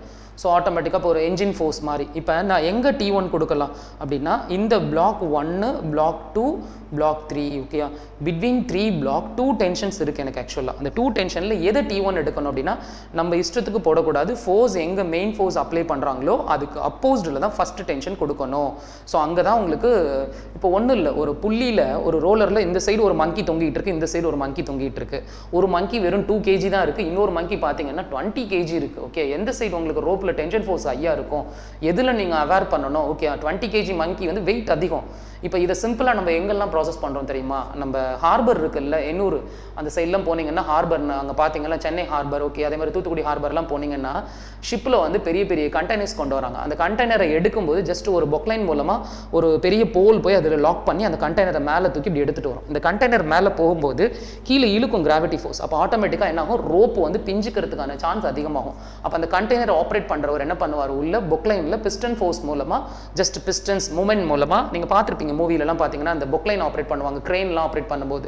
ஸோ இப்படி ஒரு லால் இது மாதிரி இருக்கும். ராட் மாதிரி அதை மூவ் பண்ணி விடுவாங்க. அதில் அந்த பிஸ்டன் ஃபோர்ஸ் என்ன ஆகும் அப்படின்னா ரிலீசிங் ஆகி அந்த ரோப்பில் ஆட் ஆகி அந்த ரோப்பில் எப்போவுமே ஃபோர்ஸ் வேல்யூ ஹையாக வச்சுக்கும்.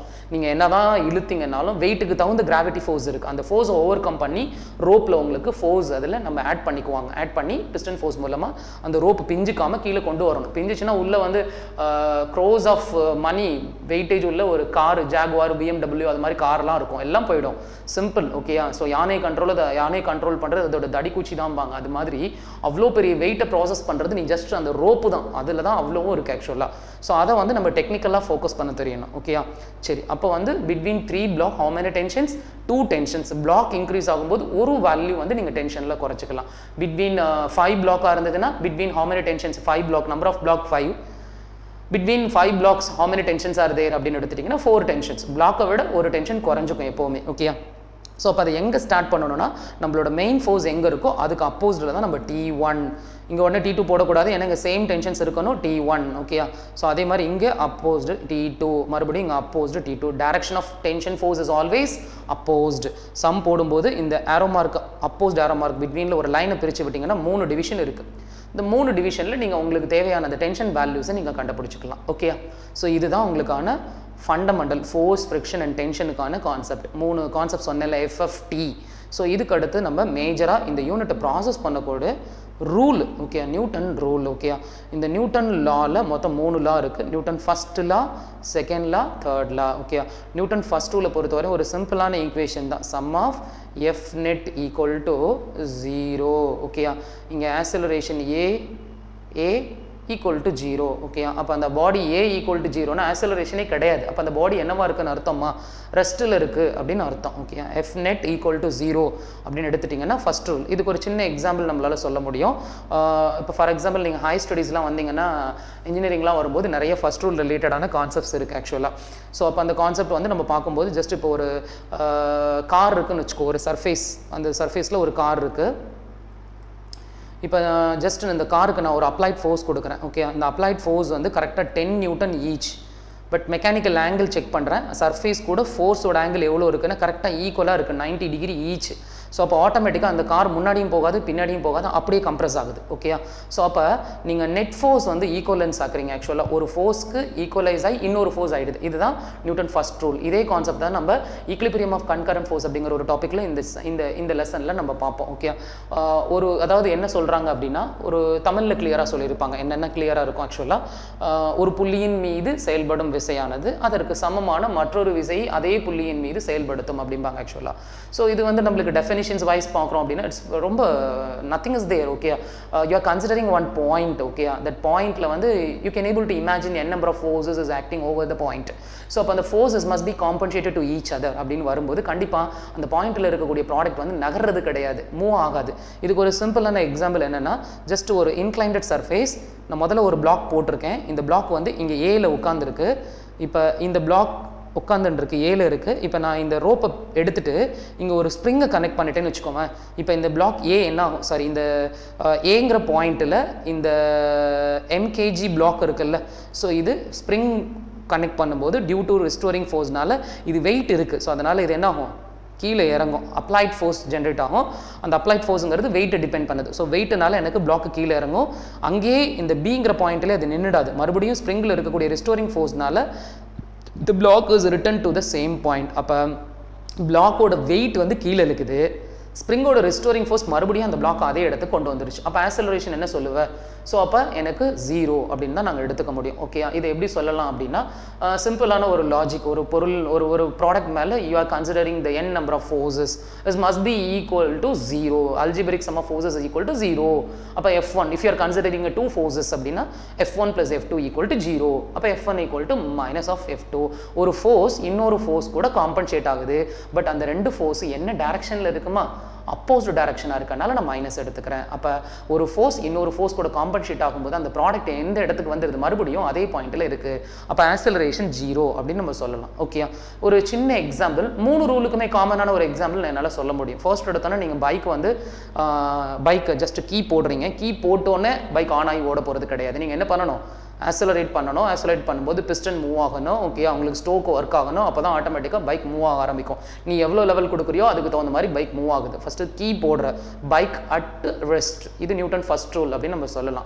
இப்போ நான் ஆசலரேட் பண்ண ஆரம்பிச்சிட்டேன். என்னோட ஆசலரேஷன் எவ்வளோ இருக்கோ ஓகேயா அதுக்கு தகுந்த மாதிரி பைக் மூவிங் ஆக போகுது. பைக் மூவ் ஆகுதுங்கிறத விட வெயிட் ஆஃப் த பைக் ரொம்ப முக்கியம்.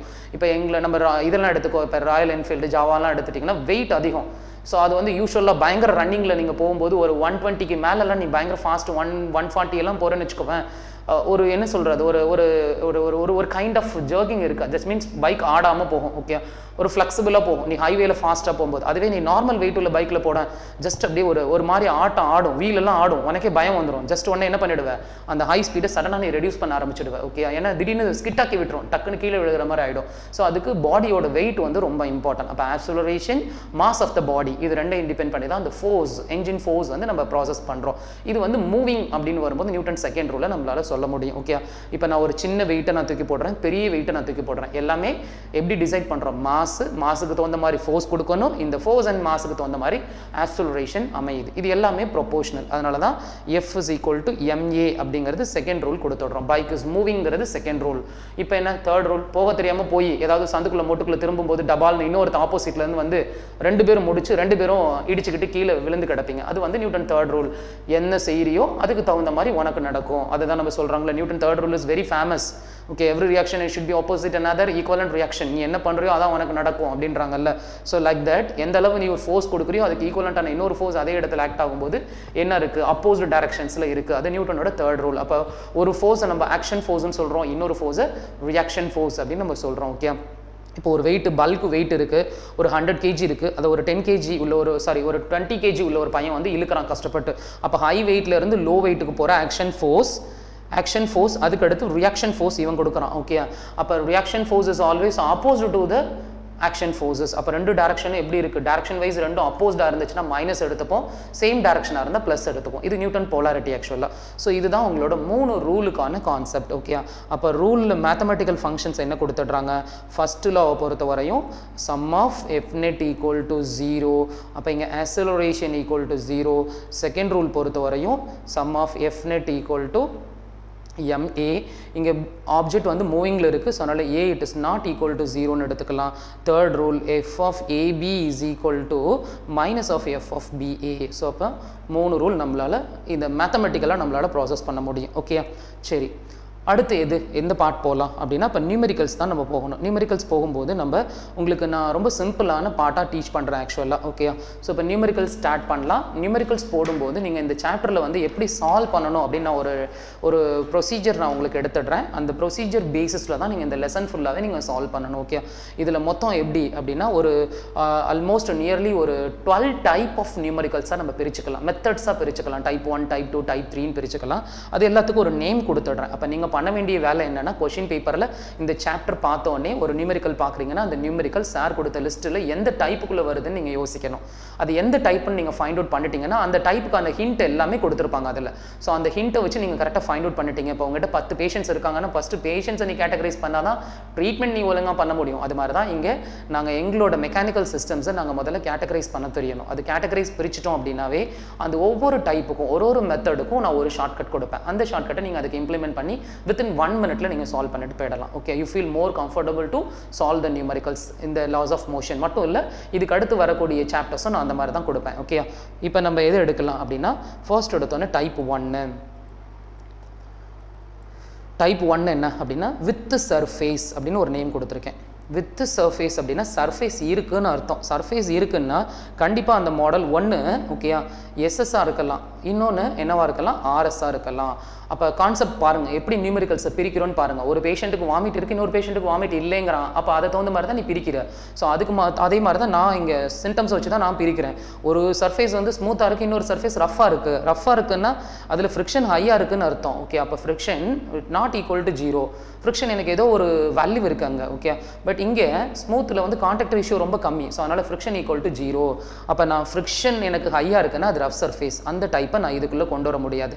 அதுக்குன்னு செப்பரேட்டாக ஒரு டைப் நாங்கள் கொடுத்துடுறோம் ஓகே இப்போ டைப் ஒன்று வித் சர்ஃபேஸ் தான். ஆனால் வித் சர்ஃபேஸில் எது கிடையாது. ரஃப் சர்ஃபேஸ் கிடையாது. அப்போ ஸ்மூத் சர்ஃபேஸ் மட்டும் தான் நீங்கள் கன்சிடர் பண்ண போகிறீங்க டைப் ஒன் அதுக்கடுத்து டைப் டூ என்ன அப்படின்னா டைப் டூ வந்து வித்தவுட் சர்ஃபேஸ் சர்ஃபேஸே வேண்டாம். இமேஜின் பண்ணுற நீ இதெல்லாம் ஒவ்வொன்றுக்கும் ஒரு எக்ஸாம்பிள் இருக்குது இது பார்த்தீங்க அப்படின்னா ரயில்வே ட்ரெயினை நீங்கள் எக்ஸாம்பிள் சொல்லலாம். ஸ்மூத் சர்ஃபேஸ் ரஃபாக இருந்ததுன்னா ட்ரை ட்ராக் உங்களுக்கு வீலுக்கும் ட்ராக்குக்கும் அதிகமாக ஃப்ரிக்ஷன் ரேட் அதிகமாகிடுச்சுன்னா என்ன ஆகிடும் ஸ்பார்க் பயங்கரமாக அடிச்சு வீல் உடஞ்சிடும் ஓகே வீலுக்கு டெம்பரேச்சர் அதிகமாகி பாடியில் டெம்பரேச்சர் ப்ராசஸ் ஆக ஆரம்பிச்சிடும் ஓகே டெம்பரேச்சர் ரொம்ப அதிகமாச்சுன்னா it will affect the entire system okay so அதனால தான் ஃப்ரிக்ஷன் வந்து ரொம்ப கண்ட்ரோலாக வச்சுக்கணும். ஏன்னா டெம்பரேச்சர் அதிகமாகக்கூடிய ஃபுல் மேக்ஸிமம் பவர் எதுக்கு இருக்குன்னா ஃப்ரிக்ஷனுக்கு இருக்குது ஓகே ஸோ அதனால் நம்ம அது சொல்லலாம். இது வந்து வித்தவுட் சர்ஃபேஸ் அப்படின்னா just weight weight pulling systems rocket launching systems எல்லாம் நம்ம சொல்ல முடியும். நிறைய வெயிட் அதில் உள்ளே வச்சு மேலே எடுத்துகிட்டு போகிறாங்க அப்போ எந்த அளவுக்கு ஃபோர்ஸ் கீழே இருந்து கொடுத்து மேலே மூவ் பண்ண வைக்க முடியும்? வித்தவுட் சர்ஃபேஸ் அந்த மாடல்ஸ் எல்லாம் சொல்ல முடியும்.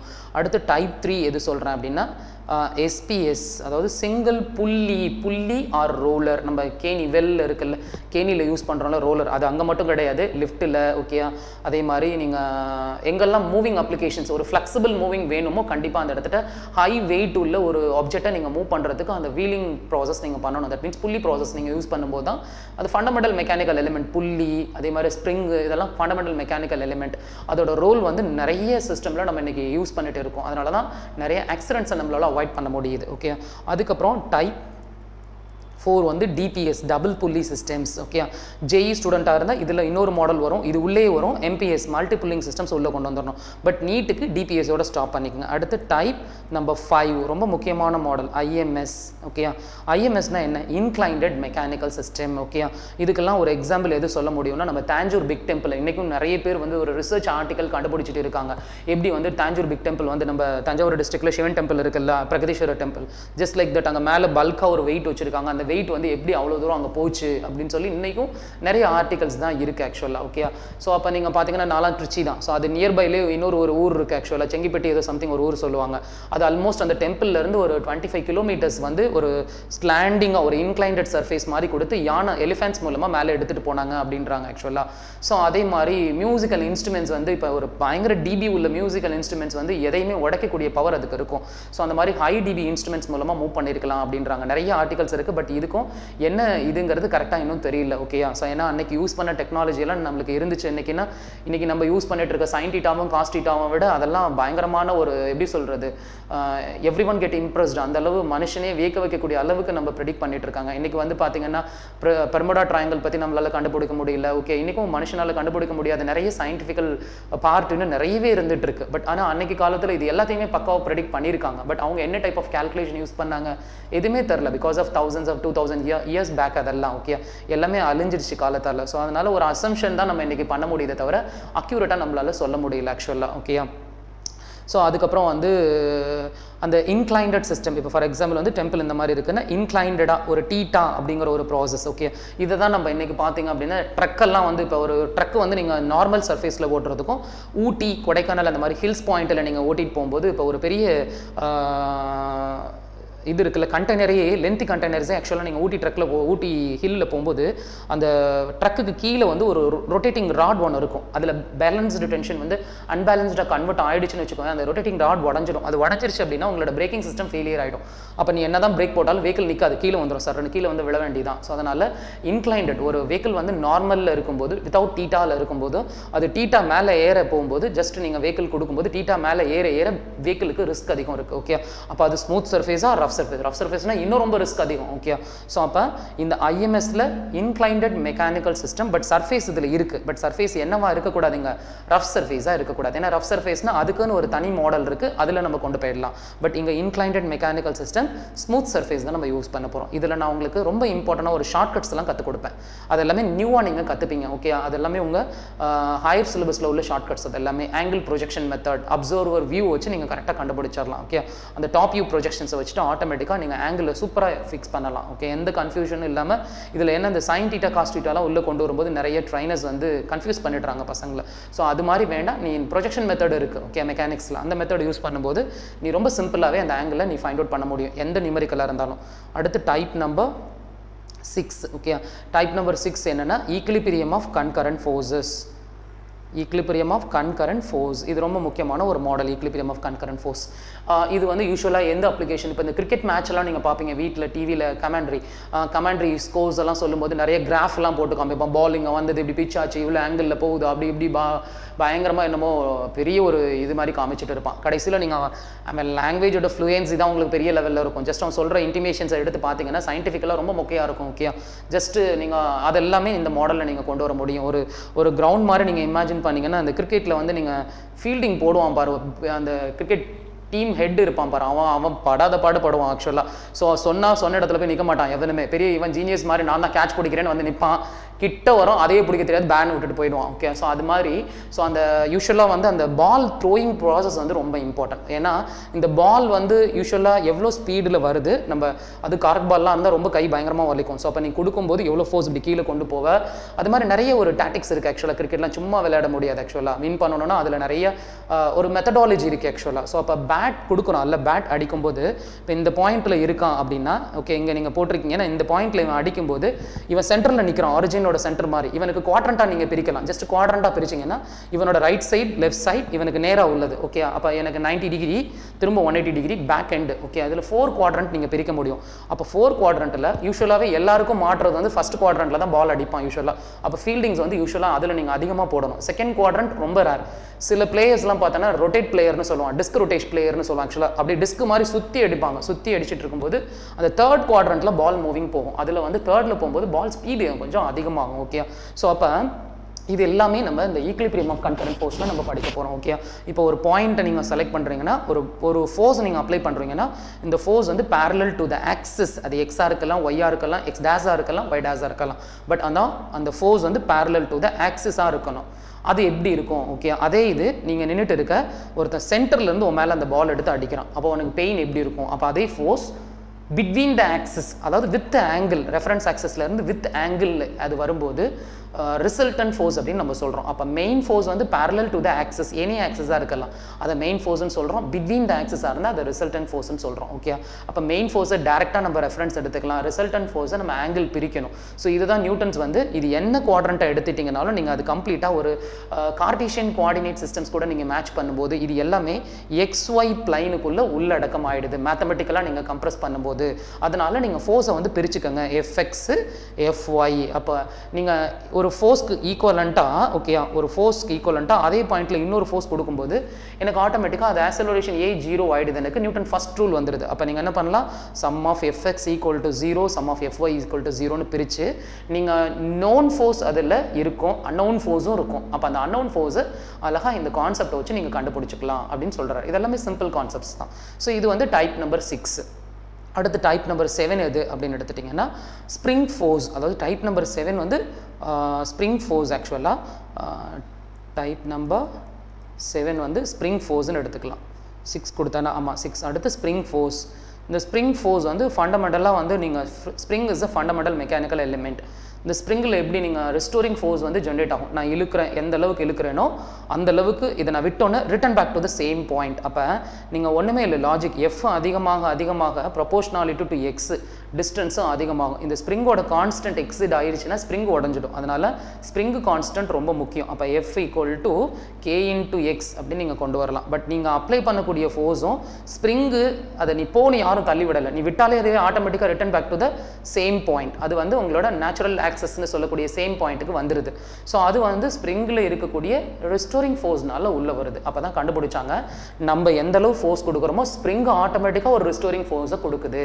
ஏன் இதை நம்ம அப்ளிகேஷனில் யூஸ் பண்ணக்கூடாதுன்னு? ஒரு காலத்தில் பைக்கெல்லாம் பார்த்தீங்கன்னா பயங்கரமாக பஞ்சர் ஆச்சு. இன்றைக்கி எவ்வளோ பெரிய வெயிட் எடுத்து மலை மாதிரி இவன் கீழே உட்காந்துருப்பான் பின்னாடி பார்த்தோன்னா அது மலை மாதிரி மேலே உட்காந்துருக்கும் பெரிய தீவிர முக்காட் போட்டு தீவிரவாதி மாதிரி பின்னாடி உட்காந்துருப்பாங்க பயங்கர வெயிட் ஃபாஸ்ட்டாக போவான். திரும்ப அப்ளைட் ஃபோர்ஸ் அடிக்கும். ஸ்பீட் பிரேக்கர் இருக்கும் தெரியாது. திடீர்னு ஏற்றிடுவான் அந்த அளவுக்கு அது அப்ளைட் ஃபோர்ஸ் கொடுக்கும். டயர் டயரில் அப்ளை ஆகும். திரும்ப it return back to the same point வெஹிக்கிளுக்கு எந்த ப்ராப்ளம் ஆகாது. வெஹிக்கிள் ட்ரைவ் பண்ணுறவங்களுக்கு எந்த ப்ராப்ளம் ஆகாது. இதெல்லாம் யார்? அதில் யூஸ் பண்ணக்கூடிய மெக்கானிக்கல் எலிமெண்ட்ஸ் இல்லைன்னா எல்லாம் கீழே விழுந்து எல்லாம் பின்னாடியே ஓட வேண்டியதான் வண்டி பின்னாடி ஓகே ஸோ அது மாதிரி ஸ்ப்ரிங் வந்து is a fundamental mechanical element ரொம்ப முக்கியமான ஒரு எலிமெண்ட் அது ஆக்சுவலாக ஸோ அதை பற்றி நம்ம பார்க்க போகிறோம் அதில் ரிஸ்டோரிங் ஃபோர்ஸ் இருக்குது அதே மாதிரி ஸ்ப்ரிங்ஸ் கனெக்டடிங் சீரீஸில் ஒரு ஸ்ப்ரிங் போடும்போது டிஸ்டன்ஸ் எப்படி இருக்கும்? அந்த எக்ஸ்டெண்டட் டிஸ்டன்ஸ் எப்படி இருக்கும்? அதே இது நீங்கள் பேரலில் ஸ்ப்ரிங் போடுறீங்க. பேரலில் எப்படி போடுவீங்க? இந்த மாதிரி போட்டு ஒரு வெயிட்டை நீங்கள் அதில் ஆட் பண்ணுறீங்கன்னா பேரலல் ஸ்ப்ரிங் இப்படி இழுத்துட்டு கீழே வரும்போது இந்த ஸ்ப்ரிங் டிஸ்டன்ஸ் uh, வந்து ஈக்குவலாக இருக்கும். ஸோ அந்த மாதிரி நிறைய spring and series and parallel இது மாதிரி ஸ்ப்ரிங் கான்செப்ட்ஸ் எல்லாமே இதில் நான் உள்ளே கொண்டு வந்துடுவேன் அடுத்து எது அப்படின்னா டைப் நம்பர் செவன் முடிஞ்சிச்சா?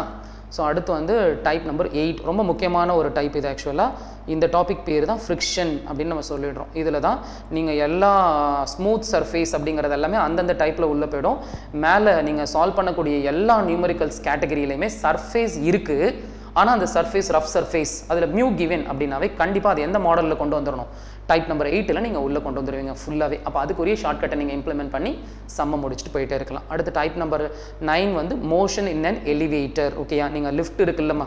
டைப் நம்பர் நைன் வந்து motion in an elevator lift type number nine வந்து மோஷன் அண்ட் லிஃப்ட்டில் வந்து ப்ராசஸ் பண்ணுறீங்க ஆக்சுவலாக இப்போ ஒன்றும் இல்லை ஒரு வெயிட் மிஷினை நீங்கள் வெளியில் எடுத்து வச்சு வெயிட் போடுறீங்க அதே வெயிட் மிஷினை லிஃப்ட்டுக்குள்ளே கொண்டு போய் வச்சுட்டு அது மேலே ஏறி நின்றுக்கிறீங்க லிஃப்ட் அட்டு ரெஸ்ட் இப்போ லிஃப்ட் இஸ் மூவிங் அப்வர்ட் அப்போ வெயிட் என்ன ஆகும் அதே மாதிரி லிஃப்ட் மேலே ரெஃபரன்ஸ்லேருந்து கீழே இட் இஸ் மூவிங் டவுன்வர்ட் அப்படி வரும்போது லிஃப்ட் வெயிட் நீங்கள் ஜஸ்ட் அந்த வெயிட் மிஷினில் மேலே ஏறி நிற்கிறீங்க அப்போ உங்களோட வெயிட் என்ன ஆகும்? கண்டிப்பாக எல்லாம் சேஞ்சஸ் இருக்கும். அது அது ரிலேட்டட் நியூமரிக்கல்ஸ் எல்லாமே நம்ம பார்ப்போம். அடுத்து type number ten okay type number ten வந்து கனெக்டிங் பிளாக் ஓகே இது ரொம்ப முக்கியம். ஜெய் ஸ்டூடெண்ட்ஸ்க்கு வந்து இந்த கனெக்டிங் பிளாக் மாடல் வந்து எப்போவுமே அதிகமாக உள்ளே வந்துட்டு இருக்கு கனெக்டிங் பிளாக் எடுத்துட்டிங்கன்னா அது ஹரிசாண்டல் கனெக்டிங் பிளாக்கும் இருக்குது வெர்டிக்கலும் இருக்குது ஹரிசாண்டல் ரொம்ப ஈஸி இது வந்து ஹரிசாண்டல் கனெக்டிங் பிளாக் ஓகே ஒன்னோட ஒன்று கனெக்டாக இருக்கும் but it parallel to the x axis இது வந்து ஹரிசாண்டல் கனெக்டிங் பிளாக் இது ஈஸியாக போட்டுடலாம் ஓகே இந்த காண்டாக்ட் ஃபோர்ஸை மட்டும் நம்ம எடுத்துட்டு இடையில எவ்வளோ இருக்குன்னு சொல்லி நம்பர் ஆஃப் பிளாக் வச்சு பிரித்து விட்டு ஈஸியாக போட்டுடலாம் பட் ஆனால் கொஞ்சம் வந்து ஸ்டாண்டர்ட் எது அப்படின்னா வெர்டிக்கல் கனெக்டிங் பிளாக் வந்து ஒன்று மேலே ஒன்று இருக்கும்.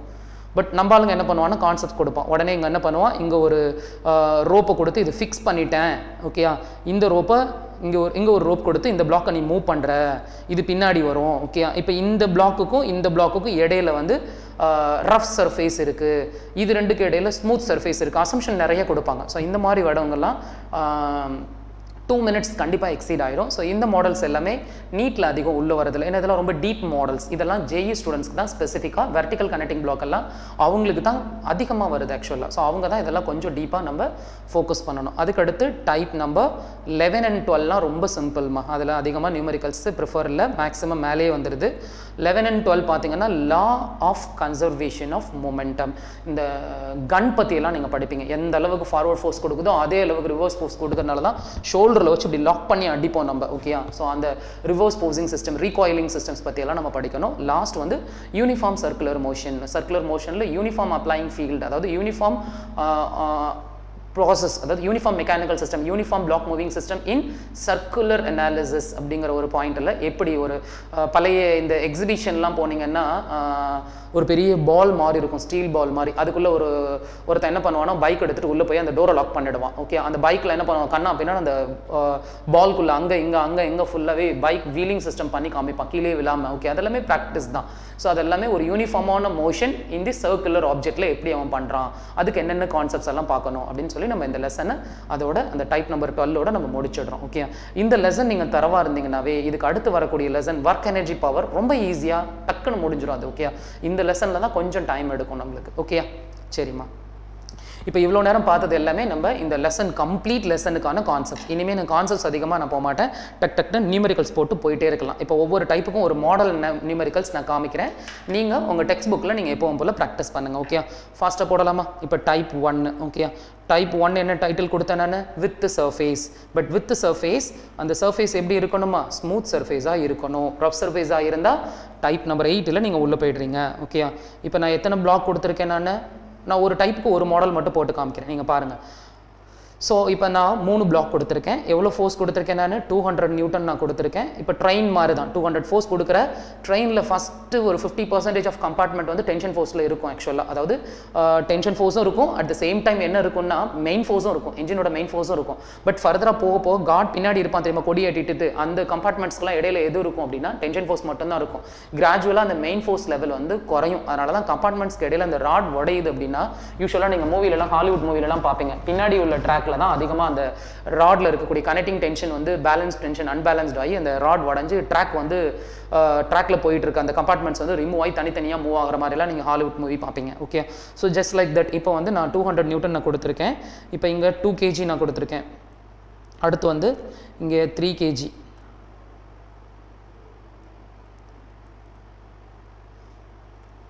ஸோ அடுத்து வந்து இங்கே ஃபோர் கேஜி இப்போ நான் உங்களுக்கு ஒரு சிம்பிளான ஃபார்முலா கொடுக்குறேன். சம் ஆஃப் எஃப் நெட் இது நியூட்டன் செகண்ட் ரூல் தான் நம்ம யூஸ் பண்ண போகிறோம் ஏன்னா அது மூவிங்கில் இருக்குது எம்ஏ அப்படின்னா A equal to sum of F net divided by M இந்த ஃபார்முலாவில் டிஸ்கிரிப்ஷன் சரியாக இல்லை. நீங்கள் இதை கொஞ்சம் இப்படி மாற்றிக்கோங்க லைட்டாக மாடிஃபை பண்ணிக்கோங்க. ஏ கண்டுபிடிக்கணும்னாவே எப்போவுமே ஒரு ஷார்ட்கட் ஃபார்முலா ஞாபகம் வச்சுக்கோங்க. A equal to net pulling force அதை கொஞ்சம் ஃபார்முலாவை மாடிஃபை பண்ணிக்கோங்க. நெட்டுனா டோட்டல் நெட் புல்லிங் ஃபோர்ஸ் அப்படின்னு எடுக்கணும் அது. Net pulling force divided by total mass அந்த டிஸ்கிரிப்ஷன் கரெக்டாக இருந்தால் நீங்கள் அதிலேயே டேரெக்டாக சப்ஸ்டியூட் பண்ணிடலாம். டிஸ்கிரிப்ஷன் சரியாக இல்லைன்னா எதில் சப்ஸ்டியூட் பண்ணுறதுன்னு நம்மளுக்கு கன்ஃபியூஸ் ஆகும் ஓகே ஸோ இப்போ net pulling force divided by total mass நெட்டுனா total இது ஆல்ரெடி நீங்கள் இங்கே எழுதிட்டீங்க ஸோ அதனால் விட்டுருங்க. அப்போ sum of F net pulling divided by MT இதான் ஆக்சலரேஷனுக்கான ஸ்டாண்டர்ட் ஃபார்முலா டோட்டல் மாஸ்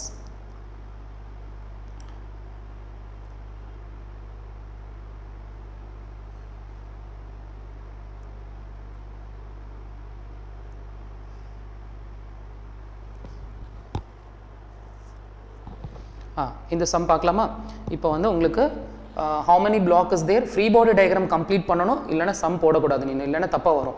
இதில் ஆக்சிலரேஷன் மேக்ஸிமம் நீங்கள் வந்து இப்போ பத்து பேஷண்ட்ஸ் இருந்தாலும் உங்களுக்கு டார்கெட் என்ன? ஜஸ்ட் அந்த பத்து பேஷண்ட்ஸையும் நல்லா க்யூர் பண்ணணும். அதுதான் டார்கெட் அது மாதிரி தான் இங்கே மெத்தட்ஸ் நிறையா இருந்தாலும் மேக்ஸிமம் டார்கெட் என்னென்னா ஆசிலரேஷன் அண்ட் டென்ஷன் நீ கண்டுபிடிக்கணும். இது ரெண்டு தான் முக்கியமான மெக்கானிக்கல் ஃபேக்டர் இந்த மே இந்த லாஸ் ஆஃப் மோஷனில் உள்ள ஃபண்டமெண்டல் மெக்கானிக் ஃபேக்டர் ஓகே இது ரொம்ப இம்பார்ட்டன்ட் இதை வச்சு தான் அந்த அந்த மெக்கானிக்கல் சிஸ்டம்ஸை நம்ம மேஜராக நம்ம அனலைஸ் பண்ண முடியும். ஓகே அப்போ ஆக்சிலரேஷன் கண்டுபிடிக்கணும் because block is moving so இப்போ நான் acceleration A equal to net pulling force pulling ஃபோர்ஸ்னால் தமிழில் இழு விசை இந்த பிளாக்கை இழுக்கிறது ஒரே ஒரு விசை தான். அது டூ ஹண்ட்ரட்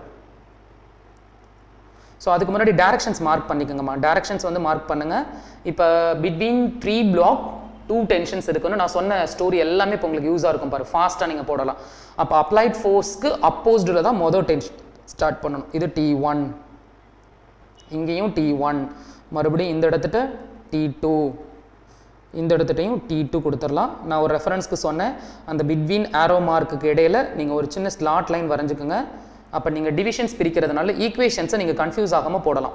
இப்போ நான் எனக்கு ஆக்சிலரேஷன் முதல்ல கண்டுபிடிக்கணும். A equal to net pulling force divided by total mass அப்போ ஏ நெட் புல்லிங் ஃபோர்ஸ் வந்து டூ ஹண்ட்ரட் ஏன்னா அதுக்கப்புறம் நீங்கள் இப்போ டென்ஷன்ஸ் மார்க் பண்ணிட்டீங்க. இது ரெஃபரன்ஸ் டேரக்ஷன்ஸ் கொடுக்கணும். அது மூவிங் ரெஃபரன்ஸ் டேரக்ஷன் அதாவது ஆக்சிலரேஷன் டேரக்ஷன் எந்த சைடு மூவ் ஆகுதோ அந்த சைடு தான் நீங்கள் கொடுக்க போகிறீங்க ஒவ்வொரு பிளாக்குக்கும் நான் ஏயோட டேரக்ஷன்ஸ் மார்க் பண்ணிட்டேன். ஓகே இது மூவிங் டேரக்ஷன்ஸ் இப்போ இந்த டேரக்ஷனும் இதுவும் எனக்கு எப்படி இருக்குமா? ரெண்டுமே சேமாக இருக்குது ஸோ அதனால் நான் சேம் அப்படின்னா ப்ளஸ் எடுத்துக்குவேன் ஆப்போசிட்னா மைனஸ் எடுத்துக்குவேன் நான் ஆக்சுவலாக ஸோ இப்போ இந்த டேரக்ஷன் ரெண்டுமே எனக்கு சேமாக இருக்கறனால எனக்கு A equal to net pulling force two hundred divided by ஓகேயா டோட்டல் மாஸ் எவ்வளோ ஒரு நாலு மூணு ஏழு எட்டு ஒன்பது. அவ்வளோதான் அப்போ two hundred divided by nine twenty two point two twenty two metre per second square so acceleration எனக்கு கிடச்சிருச்சு. ஸோ அடுத்து டென்ஷன் கண்டுபிடிக்கணும். பட் எக்ஸாமில் எப்போவுமே டென்ஷன் வந்து பிளாங்காக வெறும் டென்ஷன் தான் கொடுப்பாங்க. அதில் டி ஒன் டி டூன்லாம் கொடுத்தாங்கன்னா ஈஸியாக ஹிண்ட் அவனே கொடுத்த மாதிரி ஆகிடும் ஸோ அதனால் அவங்க ஜஸ்ட் வெறும் டென்ஷன் தான் கொடுப்பாங்க. நீங்கள் தான் நம்பர் ஆஃப் பிளாக் வச்சு அந்த டென்ஷன் வந்து எத்தனை டிவைட் ஆகுதுக்கு ஓகே டிவைடா தட் மீன்ஸ் எத்தனை டென்ஷனாக அது பிரிஞ்சுக்குது அப்படிங்கிறத நீங்கள் தான் கண்டுபிடிக்கணும். அது வந்து depends on the number of block in the diagram free body டயக்ராமில் okay so அப்போ நான் இதில் மூணு பிளாக் இருக்குது அப்போ டபுள் டென்ஷன் வரும். இப்போ ஃபஸ்ட்டு டென்ஷன் எங்கே கண்டுபிடிக்கலான்னு ஒரு சின்ன கன்ஃபியூஷன் இருக்கும். ஏன்னா இங்கேயும் டி ஒன் இருக்குது ஓகேயா இந்த இங்கே பாருங்களேன். இது வந்து இது ஒரு ஸ்லாட் இது ஒரு ஸ்லாட் எடுத்துக்கலாம். இது ஒரு ஸ்லாட் இந்த ஸ்லாட்டில் டி ஒன் நீ கண்டுபிடிக்கலாம். இந்த ஸ்லாட்லையும் டி ஒன் நீ கண்டுபிடிக்கலாம். டி ஒன் வந்து இங்கேயும் கண்டுபிடிக்கலாம். பட் இங்கே டி ஒன்னே போட முடியாது நீ அதே மாதிரி தான் டி டூ கண்டுபிடிக்கும் போது இங்கே நீ போடவே முடியாது. இங்கே டி டூ கண்டுபிடிக்கலாம். இங்கேயும் டி டூ கண்டுபிடிக்கலாம். அப்போ ரெண்டு பாசிபிலிட்டிஸ் இருக்குது உங்கள் ஸ்கூலில் எது கொடுத்தாலும் மார்க் கொடுத்துருவாங்க. பட் என்ட்ரன்ஸில் இதில் ஒரு பாசிபிலிட்டி அக்யூரசி ஆன்சர் இன்னொரு பாசிபிலிட்டி ப்ரிசிஷன் ஆன்சர் அதில் கூட நீங்கள் ரொம்ப அக்யூரேட்டாக ப்ராசஸ் பண்ணணும் ஓகேயா இப்போ எந்த டி ஒன் எடுக்கணும் அப்படின்னு எடுத்துட்டிங்கன்னா ஆன்சர் மேபி இதெல்லாம் சிம்பிள் சிஸ்டம் மேக்ஸிமம் சேமாக வரும். கொஞ்சம் மல்டி இதெல்லாம் இருக்கும். அதாவது உங்களுக்கு ஹையர் ஸ்டடீஸ்லாம் வந்து த்ரீ டி மெக்கானிக்கல் சிஸ்டம்ஸ்லாம் இருக்கும்போது ஆன்சர் சேஞ்சஸ் வரும். ஸோ அதிலலாம் நீங்கள் எடுக்கும்போது ரிசல்ட்ஸ் வந்து கண்டிப்பாக ஒரு த்ரீ டு ஃபோர் நியூட்டன்லாம் டிஃபர் ஆகும். ஸோ அதனால தான் அக்யூரசி அசம்ஷன் தான் நாங்கள் ப்ராசஸ் பண்ண சொல்லுவோம். ஏன்னா ஒவ்வொரு நியூமரிக்கலுக்கு தகுந்த மாதிரி சும்மா சும்மா கான்செப்ட் எங்களால் மாற்ற முடியாது. ஒரு கான்செப்ட் டீச் பண்ணேன்னா அந்த கான்செப்ட் வந்து it is similar to all the numericals எந்த நியூமரிக்கல் எடுத்தாலும் அதை சால்வ் பண்ணணும். ஒவ்வொரு மாடலுக்கும் நான் மாற்றினேன்னா ஸ்டூடெண்ட் வந்து கன்ஃபியூஸ் ஆக ஆரம்பிச்சிடுவான். ஓகே ஸோ அப்போ இங்கே நான் வந்து டி ஒன் எதில் எடுக்கலாம் அப்படின்னா இதில் டி ஒன் எடுக்கலாம். ஏன்னா இதில் தான் மெயின் ஃபோர்ஸ் இருக்குது இதில் மெயின் ஃபோர்ஸ் கிடையாது.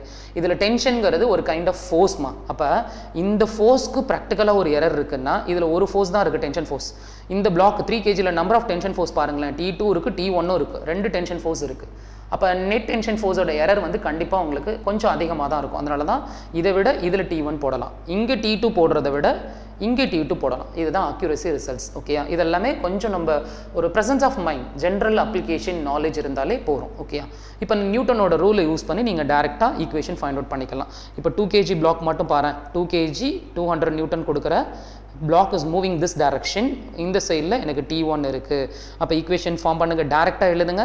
இது moving sum of F net equal to M into A அப்போ நெட் ஃபோர்ஸ் வந்து ஒன்று டூ ஹண்ட்ரட் இது சேம் டேரக்ஷனில் இருக்கறனால ப்ளஸ் டூ ஹண்ட்ரட் இந்த டைரக்ஷன் இருக்குல்ல இதுதான் ரெஃபரன்ஸ் டேரக்ஷன் இந்த டேரக்ஷனும் இதுவும் அப்போஸ்டில் இருக்கறனால டி ஒன்னை மைனஸ் எடுத்துக்கணும். Minus T one equal to M எந்த பிளாக் போடுறீங்களோ அந்த பிளாக்கோட எம் ஆசலரேஷன் நீங்கள் கண்டுபிடிச்ச ஆசலரேஷன் டுவெண்ட்டி டூ ஸோ இப்போ இதுலேருந்து நீங்கள் என்ன கண்டுபிடிச்சிடலாம்? இந்த ஈக்குவேஷன்லேருந்து டி ஒன் எவ்வளவு அப்படின்னு நீங்கள் கண்டுபிடிச்சிடலாம். ஓகே அப்போ இந்த பிளாக்ல sum of F net equal to MA use பண்ணியிருக்கீங்க ஃபஸ்ட்டு டூ ஹண்ட்ரட் ரெண்டுமே சேம் டேரக்ஷன்ஸ் இருக்குது ஸோ அதனால் டூ ஹண்ட்ரட் இது ரெண்டும் அப்போஸ்டு டேரக்ஷன் இருக்குது minus T one is equal to acceleration into sorry உங்களோட மாஸ் இன்ட்டு ஆசலரேஷன் இதுலேருந்து டி ஒன் எவ்வளோன்னு உங்களுக்கு கிடச்சிடும். அடுத்து டி டூ அதே சேம் இப்படி இருக்கா பிளாக் உங்களுக்கு? டி டூ இருக்குது இங்கே வெயிட் எவ்வளோ கொடுத்துருக்கீங்க?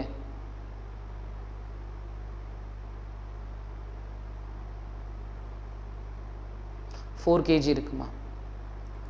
So moving this direction same ஒரே ஒரு டென்ஷன் மட்டும்தான். So T two equal to M into A four into A A twenty two so இப்போ ஆட்டோமேட்டிக்காக உங்களுக்கு T two in terms of நியூட்டனில் கிடச்சிடும். ஸோ இதான் உங்களோட டென்ஷன் வேல்யூஸ்